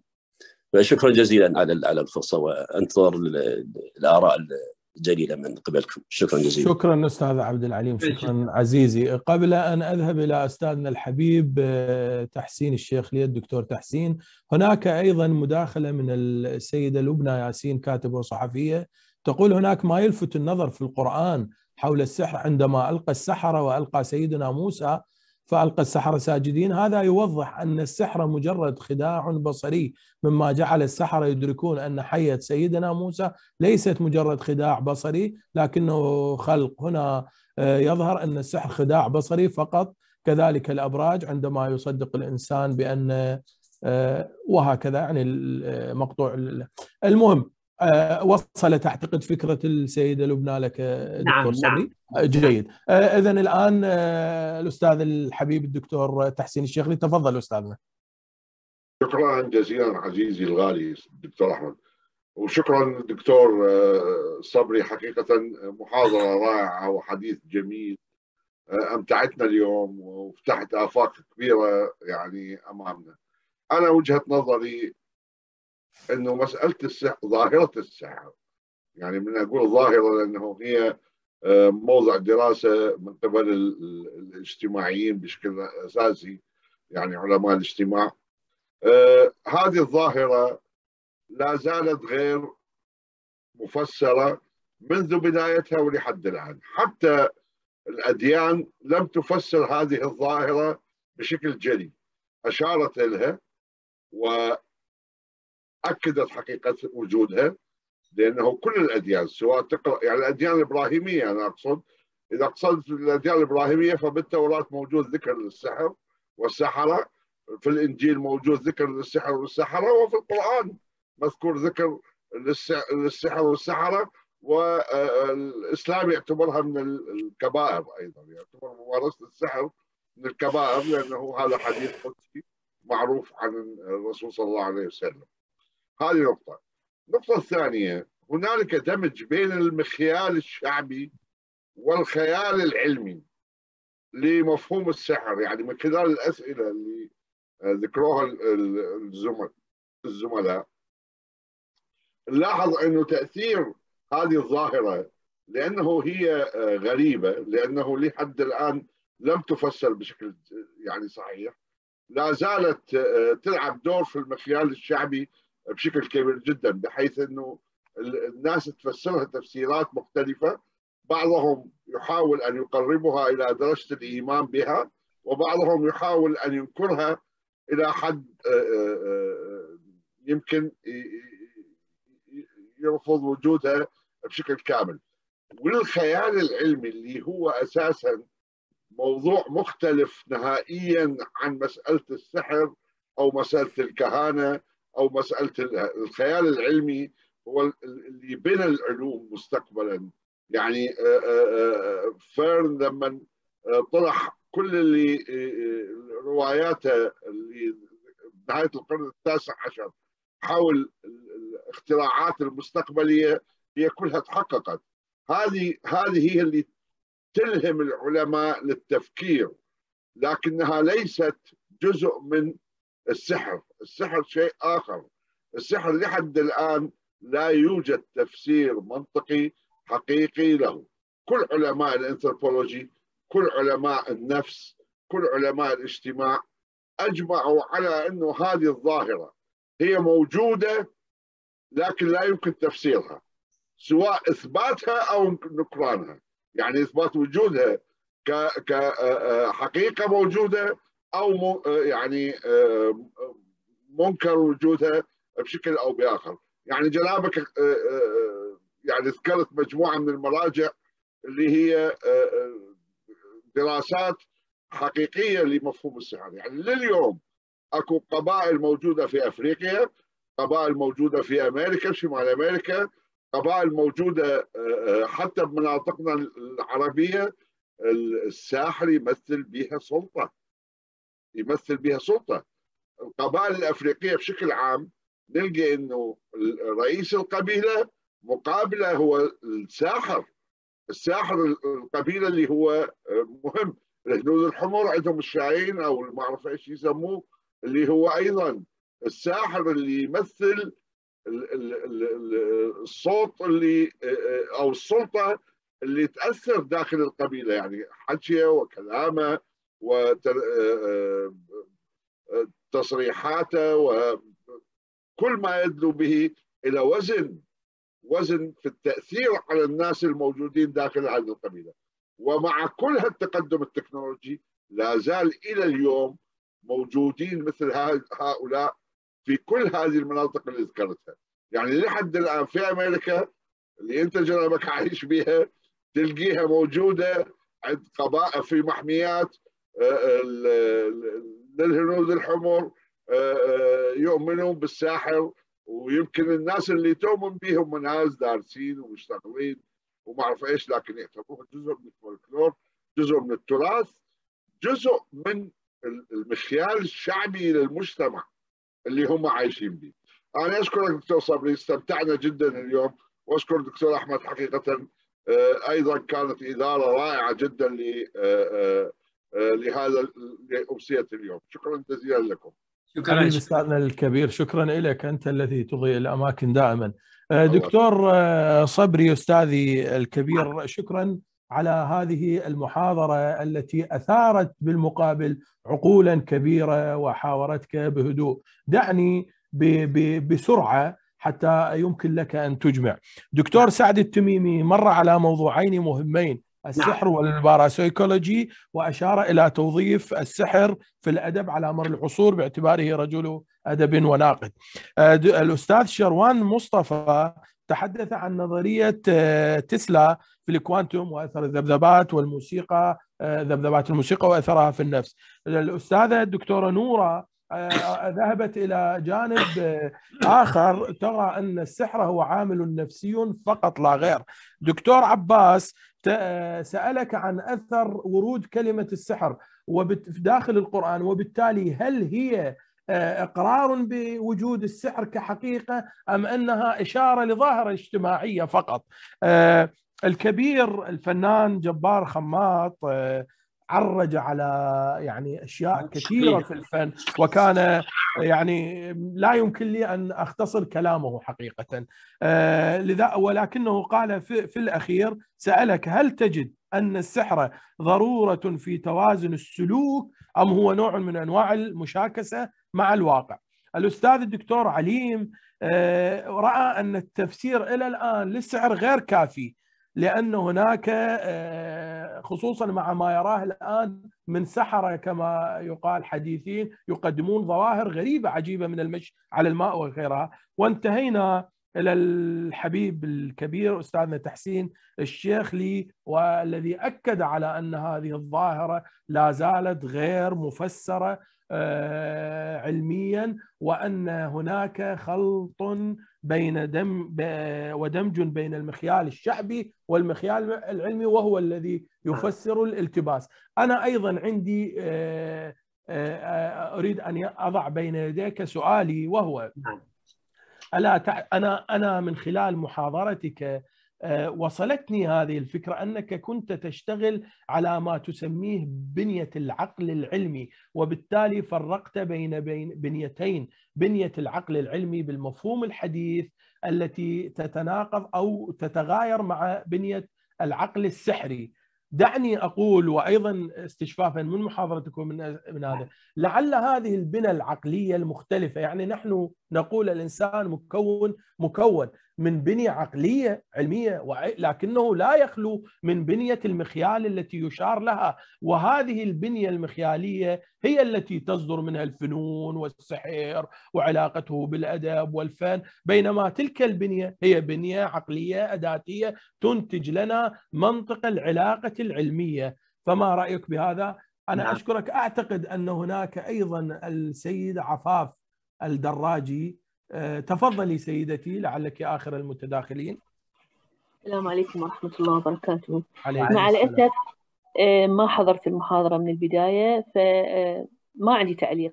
يعني أنا ما سمعتها من البداية لكن بالأخير أتصور دكتور جبار وغيره ذكروا موضوع الساحرات في أوروبا وأمريكا والقتل المنظم للساحرات. سبحان الله اليوم أنا كان عندي قراءة لمقالة تتكلم عن ال holistic medicine تاريخ ال holistic medicine الطب وعلاقته بنظرية دي أكتب عليها بحث الدكتوراه عن نظرية ال eco النسوية البيئية.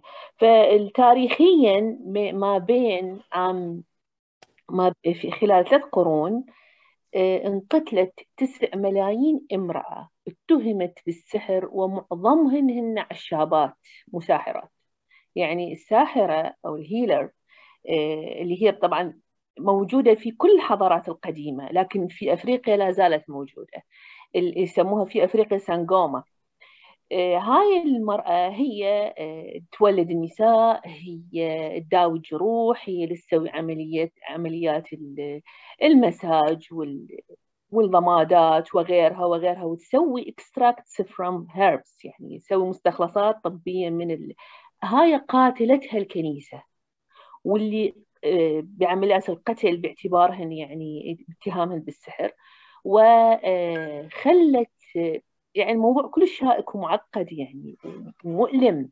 آه، ومن من صار الطب يعني صارت الثورة الطبية خلت يعني دور الطب فقط للرجال. اي فيعني آه، بس موضوع إنه آه، هاي الأعداد الهائلة من المتهمات بالسحر هن حقيقة هن طبيبات شلون إحنا الجدة إحنا يعني لحد الآن أكو في كل مدينة في العراق فشيء اسمه يسموه جدة. يروحون ياخذون من عندها دواء للطفل واللي جايبه واللي غيرها. آسفة أرجو أن تكون يعني المداخلة مالتي relevant وتحية. واضحه نعم أبدأ أبدأ. دكتور شكرا جزيلا. دكتور أحمد أشكرك. بالنسبة لصديقي العزيز دكتور سعد تميمي والله هذا الباراسايكولوجي يعني أنا لم أتابع يعني آخر مستجداته لكن هو أعتقد فيه مبالغات كثيرة. بالنسبة لما يسمى أنا رأيت حالات من التنويم المغناطيسي فعلا شيء يثير العجب لكن هو إنجاز علمي وأعتقد الباراسايكولوجي أيضا نوع من الإنجاز العلمي. ما دام آه، آه، منطقناه بمعنى أخضعناه للمنطق وهو ابن عصرنا فهو يدخل في هذا الباب. لكن لا ليس هناك مثلا هي المسألة ماذا؟ يعني التفكير السحري يعتقد أن الساحر هذا الداعي المحتال أنه يحرك آه، أو أو يخضع جن أشرار أو شياطين أشرار لإرادته ويفعل ما يشاء. يعني اذهب يا فلان احرق افعل كذا سواء في مجال الحب أو الكره. فكل ما ذكر هي حقيقة آه، تخضع هذه لتفسير علمي. ما دامت تخضع إذن لا تدخل في مجال ما نحن بصدده. أما بالنسبة للفصل بين السحر والخفة طبعا الخفة غير السحر تماما لسنا بصدد الخفة انه هو يخدع بصرك و يعني يريك كأنك ترى ذلك الشيء. أما بالنسبة للسحر والدين قبل الأديان الثلاثة المهمة طبعا كان ممتزج تماما. ممتزج بال يعني السحر والدين شيء واحد. وهناك مظاهر سحرية كثيرة لكن آه، حينما جاءت الأديان الثلاثة تخلصت منها بحيث يمكنك أن تفرق. يعني مثلا في الحج كان هناك طقوس سحرية يعني مثلا النساء يعني يطفن عاريات قبل الإسلام في في الكعبة لكن في الليل مو في النهار. آه، أو يعني مثلا حتى اللي كان لبيك اللهم لبيك ما كان مباشرة لله جل شأنه. كان لا للات والعزى وكذا لا الأصنام اللي هي وسيلة توصل إلى الله وليس وليس سوى ذلك يعني. لأن هم هم منطقيون وأنا متأكد كان بينهم من الناس من لا يؤمن بذلك. يعني دليل قس بن سعد الاياد رجل واعي أيها الناس يعني كذا آه، ما معناه أن لله دينا هو غير هو غير دينكم الذي أنتم عليه. لين داج وسماء ذات أبراج ذات أبراج كذا. ما هو مؤمن كذا هذا الدين؟ يعني يقول يعني أنتم على ضلال يعني المساله ليست هكذا. وال طبعا هي آه، دكتور آه، سعد السحر والدين كانا شيء شيئا واحدا. يعني هي ديانة سحرية أيضا. وإلا لاحظ كيف فسر الإنسان مثلا أو أو افترض أن للريح وهو متأكد في يومه حينما قال هذا إنليل مثلا عند السومريين وإن كان يأخذ استثناءات كثيرة عن شعوب أخرى. هذا إله الريح. هذا اليوم غاضب. لذلك يعني آه تسمع صوته يزمجر. وإله للصاعقة وإله للشمس خصوصا الشمس في الصيف في العراق. ف يعني آه أو حتى للأشياء المعنوية يعني إله للجمال إله مثلا للحكمة. هي إله الحكمة. وإله آه، الهه الجمال هي اشتاء وإله الخصب اللي هو تموز. وهم بس عكسوا عليه سمات بشرية. يعني هو تموز مثلا يموت لكن يفترض بالإله لا يموت. لكن لأنه إله يموت ستة أشهر ويرجع ستة أشهر. هي تفسير ظاهرة طبيعية. وهي يعني هذا الجفاف اللي يحصل آه، فترة من الزمن. ثم الخصب والربيع الجد تعاقب الجد والخصب على الأرض هذه. لكن هو ما عنده منطق. كيف يفسر الأشياء؟ فسرها على هذا الوجه. طبعا لا كان السحر والدين أو تفكير السحر نقول بوجه بوجه عام والدين شيء واحد. نعم. ولذلك هم أيضا افترضوا أنه هاي الآلهة أيضا يتزاوجون ويتعاركون يتصارعون. لكن لديهم أب اللي هو آنو. هذا آنو؟ رب الأرباب إله الآلهة. يقول لك ما معقول ذولا الذابحة. مو بس هاي مثلا أرسطاطاليس الرجل كان سموا و و يعني عصر هذا الثلاثي الرائع سقراط أفلاطون أرسطو عصر غروب الآلهة. يعني صاروا حوالي 100 إله 100 إله. شو يجرعهم يعني أكيد بيناتهم الذابحين أيضا. يعني عليهم بهم سمات بشرية. فال 100 إله إذا أسقطوا فكرة الآلهة المتعددة أسقطوها تماما. لذلك جاءت المسيحية في الوقت المناسب. يعني بعد أرسطاليس يمكن أربع قرون جاءت المسيحية. وصدقت في حينها. تمام؟ بعد ست قرون أخرى جاء الإسلام. لكن قبلهم مثلا ديانة اليهودية 3500 سنة. يعني هي سبقة الفلسفة اليونانية. لذلك يأتي هذا التراتب أنه الأسطورة ثم الدين ثم الفلسفة ثم العلم. العلم الحديث. باعتباره أحد أبناء الفلسفة. نعم. أرجو أن أكون قد أجبت عن سؤالك آه، دكتور سعد. شكرا لك دكتور شكرا لك توفيت. الله يسلمك. دكتور الأستاذ حازم حقيقة نعم نعم سأذكر أسماء هذه. الكتب وأنا أعتقد بعض بحوثي هذه اللي ذكرتها يمكن أربعة هي موجودة على الهواء. يعني مثلا هذا آه، السحر والقرن الحادي والعشرون موجود. لأن هاي الثقافة الشعبية أعتقد موجودة. وللأسف أنا على أساس قبل ما أبدأ أشوفها موجودة لو لا حتى أقول. وأيضا هذا أيضا آه، مقدمة ابن خلدون بين علم الاجتماع والفولكلور.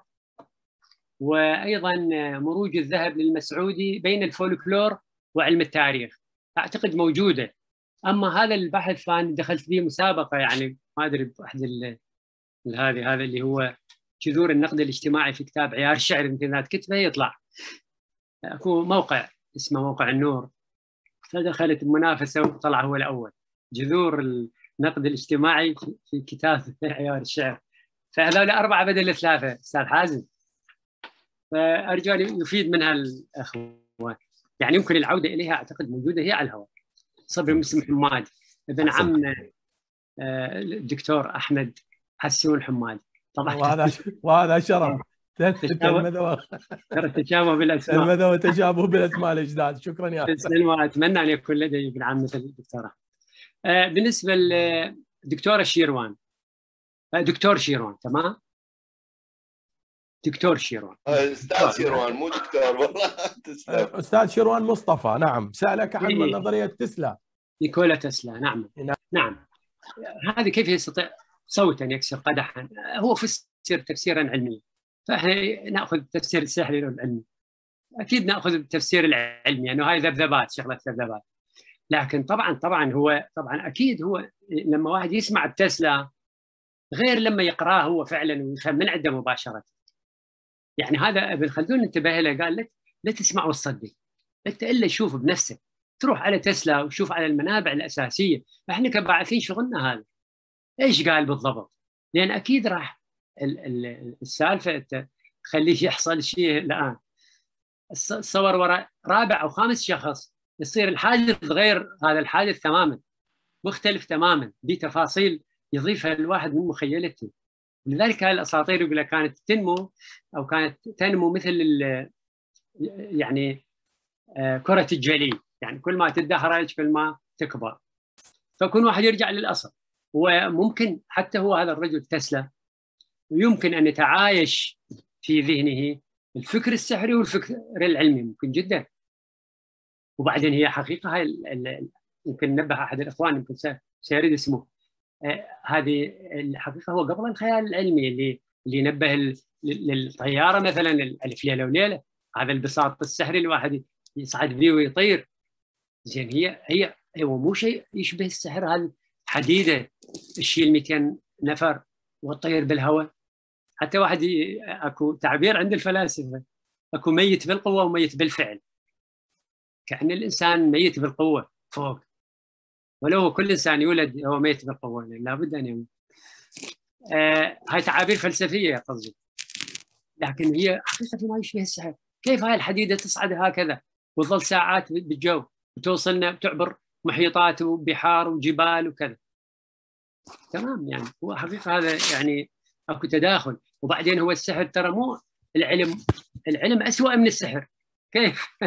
العلم السحر ما ما عنده قدرة يقتل مثلا آه، مليارات الناس. هذه الآن العلم اوصلنا القنابل هذه اللي ممكن تقضي على الكوكب كله. لكن السحر ما يمكن لا يمكن أن يقضي على الكوكب كله. تمام؟ فهو بس من هاي النقطة واسوء من السحر. العلم العلم الحديث نعم. السؤال آخر دكتورة نورة. اي السحر عامل نفسي يلعب به آه، يعني عامل كبير الجانب النفسي؟ أنت تحس إنك مسحور؟ مثل يعني بالحكايات الشعبية حلو. يعني مثلا هو واحد يعتقد إنه هو ما محظوظ. وحظ وين؟ ليس هناك شيء اسمه الحظ. هناك صدفة يعني أو, فرصة تسنع والمجتمع القرشي كان مجتمع تجار ترى أذكياء. وكثير منهم لا يؤمن بهذا بس هو ماخذ السقاية وكذا وكذا والسقاية الفلان وال... يعني منبع اقتصادي للحج ولذلك هم حريصون عليه. فاقصد من هذا طبعا يعني الجانب النفسي له أثر كبير حتى إنه هذا عالمنا الجليل المؤرخ المسعودي يقول هذا أنا ذكرت هذا يعني يجب ان الواحد بالمخازن هذا بالليل. ها؟ لحد وقت قريب كنا هاي بقريه السادة تابعة للحلة. يقول لك طنطل بين هذا يجوز يخافون الجهال يجوز كذا.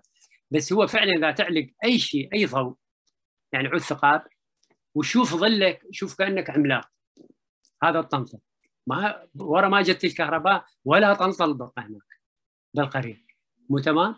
وينهم الطناطله؟ وين بس ها رجعوا رجعوا ويا المولدات هسه يمكن.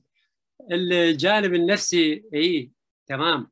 لكن أنا نصيحتي للدكتورة نورا إنه لا تأخذي بشيء يناقض عقلك. شيء يناقض العقل انبذه بدون تردد. آه، الجانب النفسي تمام موجود. ليس هناك إنسان مسحور. لأنه أيضا نرجع لأدبياتنا بالقرآن الكريم. يقول لك أو حتى بالحديث الشريف يقول الجن والشياطين كذا ليس لها أي سلطة على البشر بحيث يتحكم فيه ويسيره كما يشاء. لا يستطيع ذلك. إرادة الإنسان هي التي تحركه. ليس هناك إنسان مسحور أبدا. لا تصدق بذلك. أنت حينما لا تصدق آه، يعني آه، ما ذكرت ذكرت يقول إذا جبن هذا المسعودي بس يقول إذا قوي القلب لا يرى مثل هذه الأخيرة أبدا. لأن هو قوي القلب متأكد ماكو هذا الشيء فأنت لا تصدق وهاي تذهب عنك جميعها. بالنسبة للدكتور عباس السحر في القرآن الكريم أنا ذكرت في مواقع السحر السحره وهي كل ما ذكر هي وبهدف إدانتها ومن شر النفاثات في العقد. وطبعا هو حقيقة يعني السحر يعني هو أيضا بالنسبة للقرآن الكريم هو حمال ذو وجوه. يعني الساحر إذا استخدم كما ذكرت يعني مواد يضعها في الطعام والشراب أكيد تؤثر تاثيرا كبيرا. لكن إذا اكتفى بالكتابة والحرز والدعاء أو سوى بالمقبرة وعاده المكانات اللي يختبئ بها السحرة أو يوصون قيام السحر أنا شفت فيديو بهذا الصدد يعني وحدة ذهبت ذهبت إلى المقبرة ورافزيها. أهل المرحوم. رايحة ما أدري. يعني استطاعوا ان يعني يصوروا يصوروا هاي المرأة الساذجة الغبية. وجايبه أيضا أشياء وكذا وأشياء طبعا لا علاقة بينها مثل ما ذكرت يعني يجوز كبدة ثور أو مثلا آه، إلى آخره من هذه الأشياء. يعني يمكن تحقيقها كلها. آه، هذه آه، كما ذكرت يعني لا تصدق بها أو أو ليس لها أي تأثير.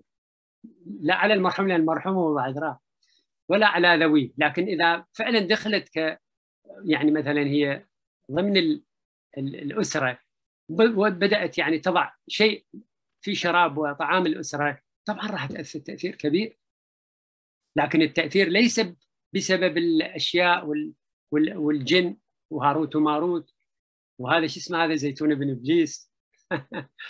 وذاك ابن مدرياه هذول هؤلاء لا شأن لهم ولا تأثير لديهم على البشر على وجه الإطلاق. فقط لا تصدق بذلك. لا تصدق. هنا الأوروبيون يعيشون بدون هذا. يعني ما ما يؤمن بهذا. يعني لا تقول له يضحك يعني. على كل حال. ومع أن بعضهم لديه فعلا هذه الأفكار. يعني تتعايش مع تفكير سحري من نوع خاص آخر مختلف. آه، بالنسبة آه، إذا ذكر السحر يا دكتور عباس. دكتور عباس نعم. بهدف إدانته. علميا يعني السحر غير موجود. كما ذكرت لأن هو عقد صلات غير منطقية بين أشياء لا لا علاقة بينها. يعني أنا نجم بالسماء. أو برج بالسماء. يعني أنا أصدق أنه ما يجري على البرج يجري علي أنا. ومعرفة مصيري أنا بناء على البرج. لا طبعا. آه، بالنسبة للدكتور صادق التميمي مرحبا. فاضل صالح السامرائي درسني في مرحلة البكالوريوس درسنا صرف.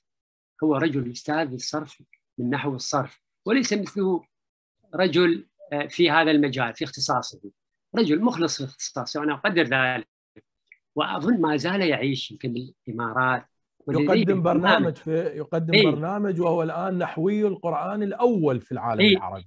إعجاز إيه، القرآن إيه، كذا. هو إيه؟ هو الآن مختص في بيان الإعجاز القرآني لغويا. هو آه، واحد من أكبر الأسماء في هذا المجال. نعم دكتور. أستاذي أستاذي الفاضل والله.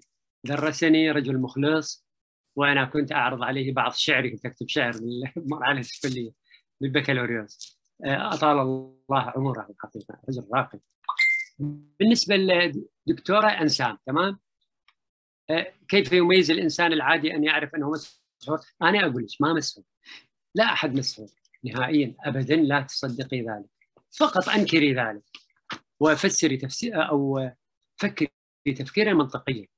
شيء لا يعارض العقل ولا تسمح لأحد أن يتدخل في طعامك وشرابك لن يؤثر عليك أحد على وجه الإطلاق.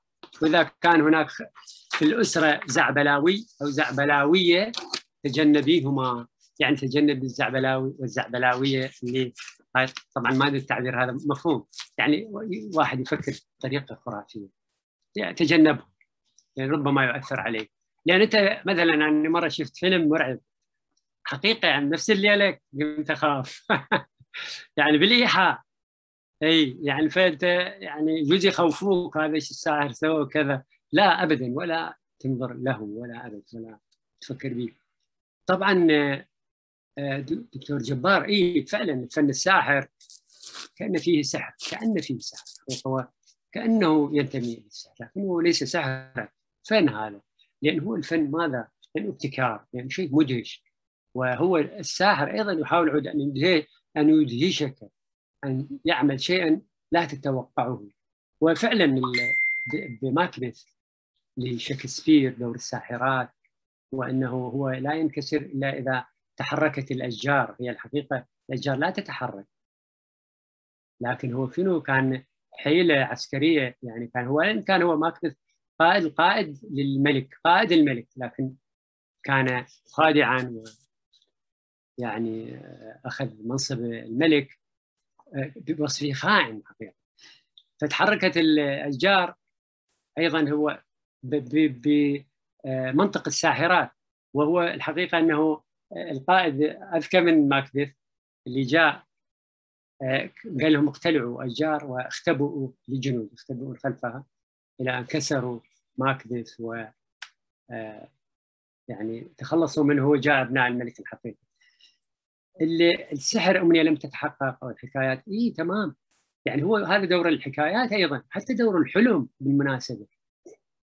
يعني الحلم هو يحقق رغبات ممنوعة خصوصا في مجال الجنس مثلا.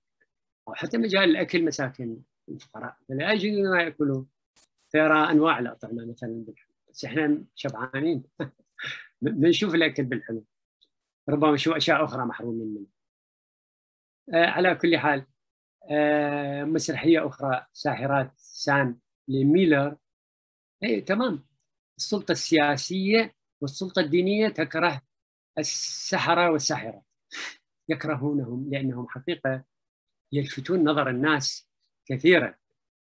لأن الحقيقة المتدين مرتاح. يعني يأكل كل شيء إليه جل شيء هذا يفسر كل شيء. وهذا يقف عند هذا الحد أحيانا تقول لي هناك ظاهرة ما معقولة. يقول لك هذه حكمة حكمة الله. ما تناقش بس تناقش يقول لك التفاهم. فلذلك تتجنب أن تناقشه. لكن الساحر لا. الساحر يدعي أنه هو يلعب بمظاهر الطبيعة. بمعنى أكو هناك شياطين وجن أشرار هو يتعامل معه. هم يحققون له يعني اماني الناس أو من زبائنه السحر يوفق لا ابدا يعني هو ياتي يوم يعني هو مثلا حقيقة هو يجد مرتعا له السحر في البيئات المسكينة الفقيرة لأنه يعوضهم كأنما يريد الواحد يعني يحرق مراحل. على تعبير ماركس يحرق مراحل حتى يصل. إلى بغيته. لكن هذا مستحيل. على قولة هذا اللي قرأت لكم شعره. يقول الرزق بالكسب ما يأتي إلا بالبيع والشراء هو كان تجارة يعني عنده وهو السحر لا أبدا. ولذلك هو يقل كثيرا بالمجتمعات المتقدمة المتنورة. بالنسبة للأخ عبد العليم طبعا إحنا نفرق بين خداع البصر والسحر. خداع البصر غير السحر. هذا يدخل بمجال آخر. بالنسبة لديفيد كوبرفيلد هاي هاي رواية رواية تشارلز ديكنز. وأظن أنه كتبها من الذاكرة ترى كتبها في القرن التاسع عشر. وفيها هذه المظاهر اللي ذكرها الأخ عبد العليم. لا لا لا تصدق بها هي افتراضات أو كذا. ويعني هي تستند إلى مسألة خداع البصر. هي خداع بصر لا غير. خصوصا إذا الشيء اللي يشوفه بال مو اللي يشوفه وجها لوجه طبعا لا تصدق بشيء تسمعه. أو حتى تراه على الشاشة. سواء شاشة كمبيوتر سينما كذا.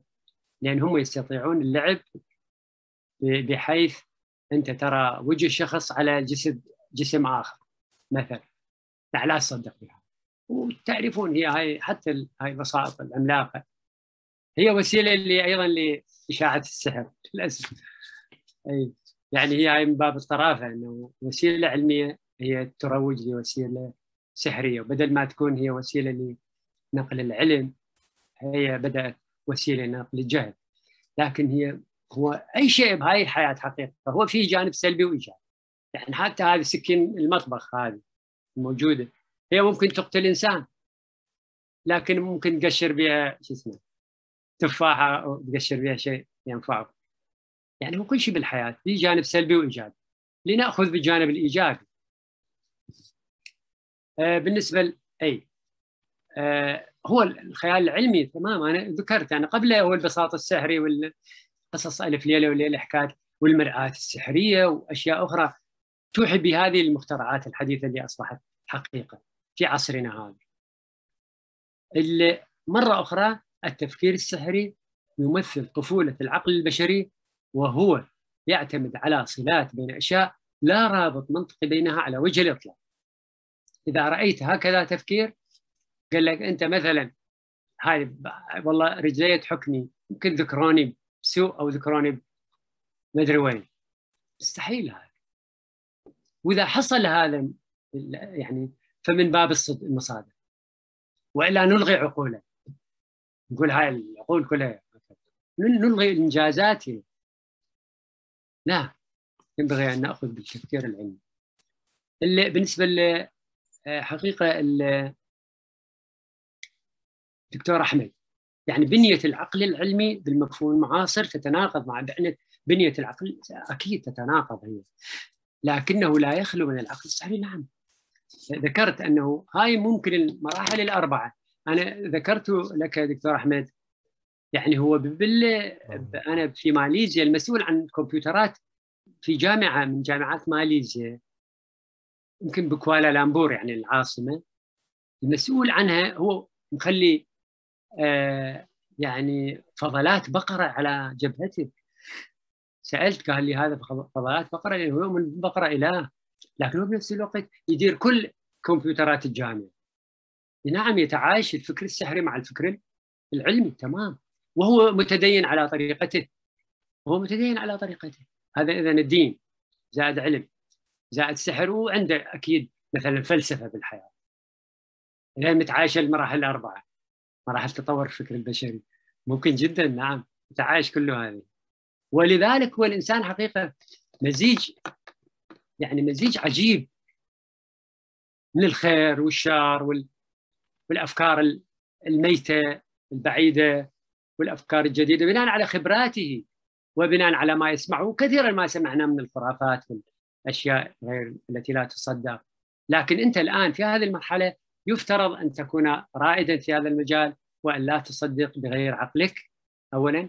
وإن كان لاعب الفلسفه يقول لك من تحط القلم يقول لك حواسك قد تخدعك. يعني تضع القلم هذا في في الماء تراه منكسرا لا هو عدل مو مكسور عزيز. فاذا حواسك تغشك أو تخدعك. لا هذه أيضا ظاهرة علمية يمكن تفسيره. يعني هذا الانكسار يمكن تفسيره. لا مناص من التفكير العلمي في عصره لا مناص. وينبغي أن ننبذ التفكير السحري وأن لا نصدق به وأن لا تصدق بحكاية جاءتك من فلان أو علان وإنما ينبغي أن ترى بنفسك وتجرب هذا الشيء وتتأكد منه. فإذا رأيت عيانا لا بد له من تفسير علمي لا بد له يعني ليس هناك مجال الآن للمعجزات. لم نرى معجزة في حياتنا يعني إذا رأينا معجزة لا بأس والله. يعني لا بأس. حتى الواحد يغير أفكاره بناء على هذه المعجزة. لكن لا معجزة في عصرنا. العلم هو معجزة العقل الإنساني الآن أصبح. هو معجزة عقل على س...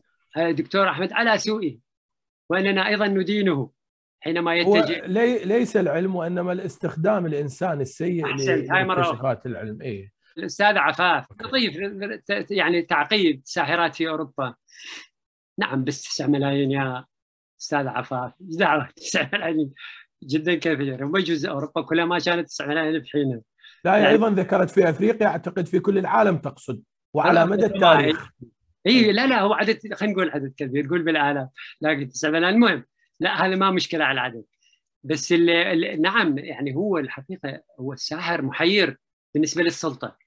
ولذلك يقال أنه الساحر هو سلف السياسي سياسي محتال والساحر محتال.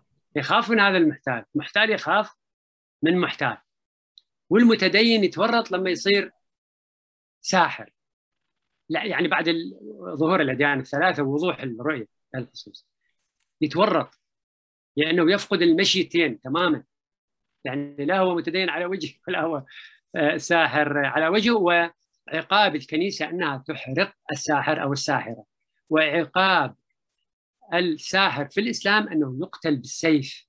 وحصل هذا زمن آه، عمر بن الخطاب. قتل أحد السحره في زمانه.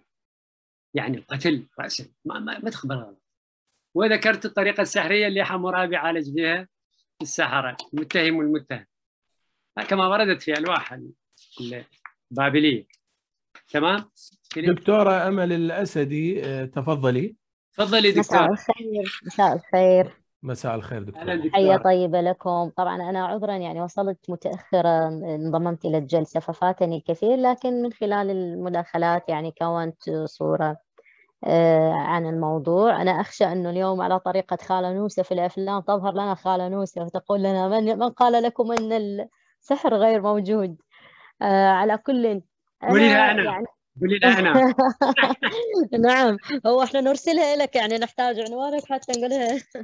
على أي حال. يعني إلى أي حد ترى إنه المجتمع الآن يتأثر بهذه يعني مفهوم السحر وتمظهراته؟ ولماذا يبحث عنه يعني لم لم يعد من المجدي الآن أن نخبرهم أنه هذا غير صحيح وهذا موجود. لماذا؟ لأنه لديهم نصوص في مخيل لها سلطة عليهم إلى الآن. يعني قضية النبي سليمان سليمان قصة النبي سليمان قصة زليخة والنبي يوسف قصة زوجة النبي زوجة النبي إبراهيم.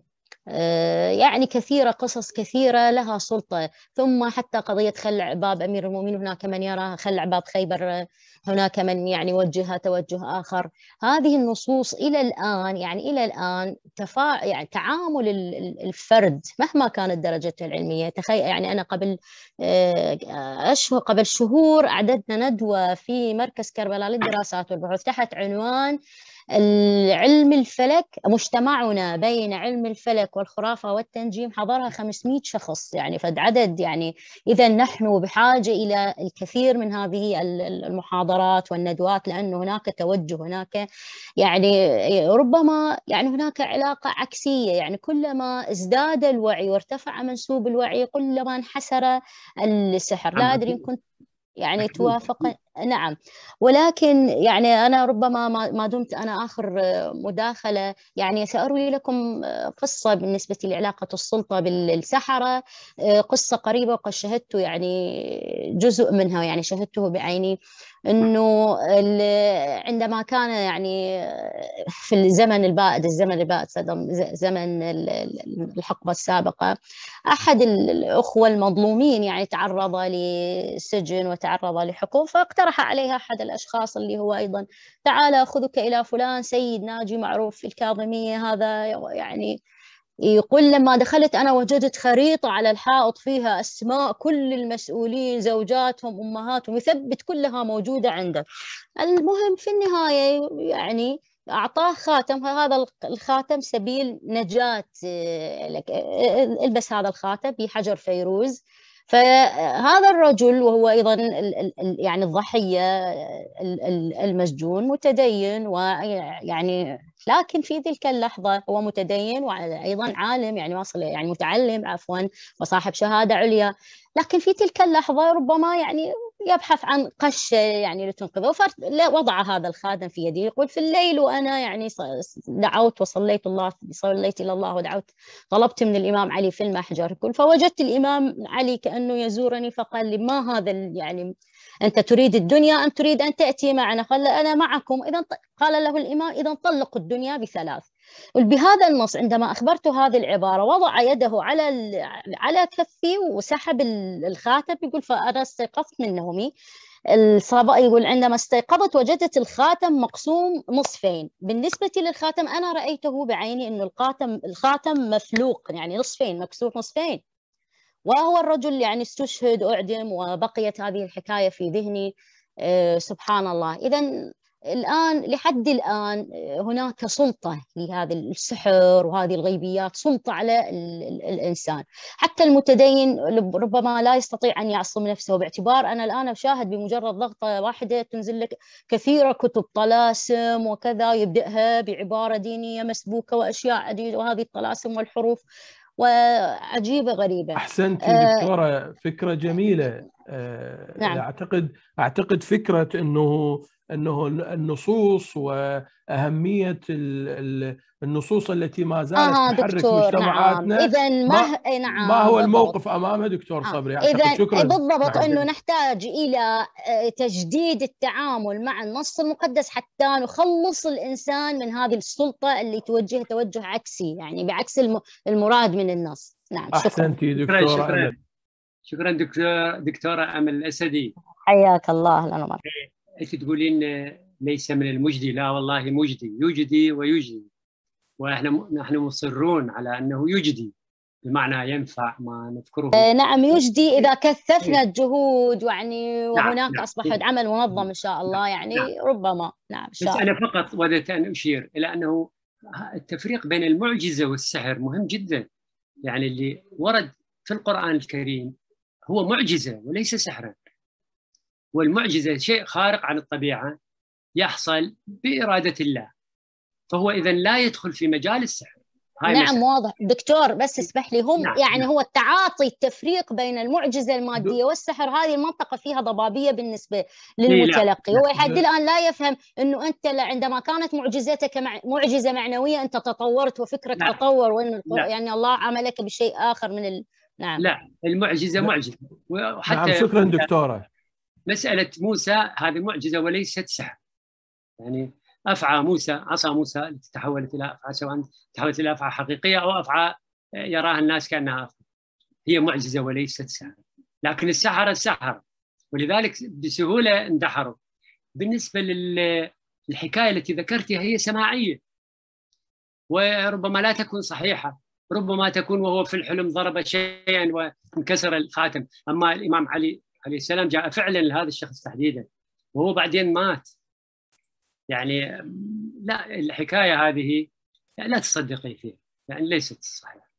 وإذا آه، هي وصلتك مع مبالغات لا تصدق بشيء تسمعه على وجه الإطلاق. هذا ابن خلدون يقول ونحن نقول أيضا إذا لم ترى الشيء عيانا. إذا رأيت الشيء عيانا أنت إذا لم تجد له تفسيرا علميا يمكن أن نتناقش في هذا الصدق. بالنسبة للسلطة السابقة والسحر والله يعني تمام سمعت عن هذا. يعني كان بالطوبشي وحدة امرأة يقال أنه عمية يمكن كانت يأتيها منذ زمن أحمد حسن البكر. وهم عقليات بسيطة. حتى زمن صدام يذهبون إليها ويستشيرونها وعلى أساس عندها هي آراء. بال... بما سيحصل في المستقبل. ونحن نعرف لا هي ولا جدها. يستطيع ذلك. قل لا يعلم الغيب من في السماوات والأرض إلا الله. هذا الشيء الذي ينبغي أن نصدقه. يعني هذا سواء في أدبياتنا الدينية أو في في هذا العلم الحديث. لا يستطيع أن يتوقع على وجه الإطلاق هذا السونامي. يوميا هم يقولون الجو بكرة راح كذا وفعلا فيما أيضا فيما يشبه السحر. يقول لك بكرة تمطر فلان ساعة فعلا تمطر. لكن أحيانا ما تنبأوا مثلا سونامي اللي اهلك كثير من الناس البريئين مثلا وقد لا يتنبؤون إذا كارثة جاءت مثل التسونامي مضروبة في 100 وتنهي البشرية وبعد لا نقاش بعد ذلك يعني اذا الكون هذا عجيب حقيقة بس أنت ينبغي أن تفرق اولا بين المعجزة والسحر، المعجزه غير السحر. هذا واحد اللي ورد في القرآن الكريم هو معجزات وليست سحر. بالنسبة للسلطة السابقة والسحر هم كلهم يعني بسطاء يعني هم عسكر سواء أحمد حسن البكر أو هذا المتخلف اللي كان طالب فاشل صدام حسين. هو أيضا عقلية خزعبلاوية. والدليل أنه هو بشكل غير منطقي دخل شجع يمكن عبد الجبار عقار يعني عنده الربابي 30 دولة وحنا وحدنا. طيب طيب طيب الربابة هذه الربابة. 30 دولة تعالى مبين النتيجة. أنت تواجه 30 دولة. ماذا سيحصل؟ مثل أنت وتواجه لوري بال بال سا سا يعني يسير 100 كيلومتر بالساعة يعني علميا شيء شو يحصل؟ طبعا يحصل اللي حصل للعراق المسكين مبتلى بقياداته. على كل حال لا نريد ندخل أحسنت دكتور. يعني هذا الخلط بين المقدس والسحر. هاي المشكلة حقيقية. يعني الساحر هو محتال كما ذكرنا. يبدأها بسم الله الرحمن الرحيم وبآية هاي هي المشكلة. يقول له أنت كذاب ومحتال وكذا وما عندك أي قدرة يتهمك بالكفر. ماذا تقول؟ يعني يقول لك هاي آيات. وهي الآيات تفعل فعل طبعا فعل سيكولوجي نفسي طبعا. يعني أنت إذا خصوصا إذا مجال محبة كذا ومرة ساذجه وتقول لها هذا تقرين هاي الآيات مثلا. كل يوم ودارين زوجك تدري بالش عليه وهي تعرف ها؟ وياها آيات. اي ممكن. بس بس مو مو الفعل مو للآيات. الآيات ما خلقت لي حتى المحبة والكرة. هي لها وظيفة أخرى. المهم آه هذا الخلط بين خطير بين المقدس والسحر. يعني مثلا مثلا يقول لك حائط مال مثلا بنات الحسن كثيرات. حائط مال بنت الحسن فلانة. ويضعون نذور لها وكذا وكذا. يعني وهي بنات الحسن. كثار على أساس هناك يعني كلام مسموع هذا وليس لا اظنه صحيح. يقول لك الإمام الحسن عليه السلام كان يطلق كثير من النساء حتى أنه راى امراه قال هذه أريد تخطبوا لي إياها. قالوا له طليقتك قد لا يكون صحيحا لكن المسألة شنو يعني من أين جاءت هاي القابلية لبنت الحسن تسوي كل هذا؟ أو مثلا بايسكل أو ماطور سكل أو عربانة يقول لك هاي مبروكة ويشدون بها علق وكذا يعني كيف تصدق هذا؟ يعني إلا إذا ألغيت عقلك لا تلغي عقلك ولا تصدق بكل هذا ممكن أسأل سؤال صغير؟ دكتور إذا ممكن؟ نعم دكتورة مو سؤال مو سؤال. إيه. نعم دكتور آه، أنت أنا دكتورة أمل الأسدي. هل يعني هناك من يقول إنه المرأة ميالة إلى هذه الجوانب أكثر؟ يعني خاصة الآن بناتنا عندنا في الظاهرة أي أماكن يعني الأماكن العتبات غيرها المراقد شيخ عبد كل كل المراقد عندما تدخلها تجد على جدران العفو الحمامات مكتوب سحر فلانه بنت فلان بطل حتى كاتبين إعلانات ممنوع إدخال القلم ممنوع كذا. يعني وهذا الكبت اللي يعدها إنه وصل بها الحال إنه تكتب مرات بعض الأشياء هناك. هل أنت مع إنه فعلا المرأة هي أكثر ميالا لهذه الجوانب؟ مو مو ليس بالضرورة. والله هناك رجال أكثر خزعبلاوية من المرأة. بس, بس دكتور يعني ممكن... هي أنا أقول لك بس فقط عفوا دكتور أحمد. نعم نعم. لأنه هي تحت الضغط ربما هذا يحصل إنه هي أكثر. لأن الرجل يمكن عنده حرية اوسع تفضل دكتور أحمد يعني لا أنا أميل إلى آه، إجابة أخرى. أنا أقول النساء هن ساحرات يعني فقط والرجل مسحور لا تمام دكتور. والله شكرا شكرا جزيلا. شكرا جزيلا لهذه المحاضرة. أنا آه، أختم بالشكر لهذه المنصة آه، الصالون العراقي على هذه. على هذا الفضاء الذي يفتح أمامنا للوعي والفكر والمناقشة. شكرا لك أستاذنا الكبير على ما قدمته من محاضرة علمية آه، تراثية فكرية ناوشت كل المجالات ولم تخلو من روح الفكاهة ومن كل ما يمتع العقل والقلب والروح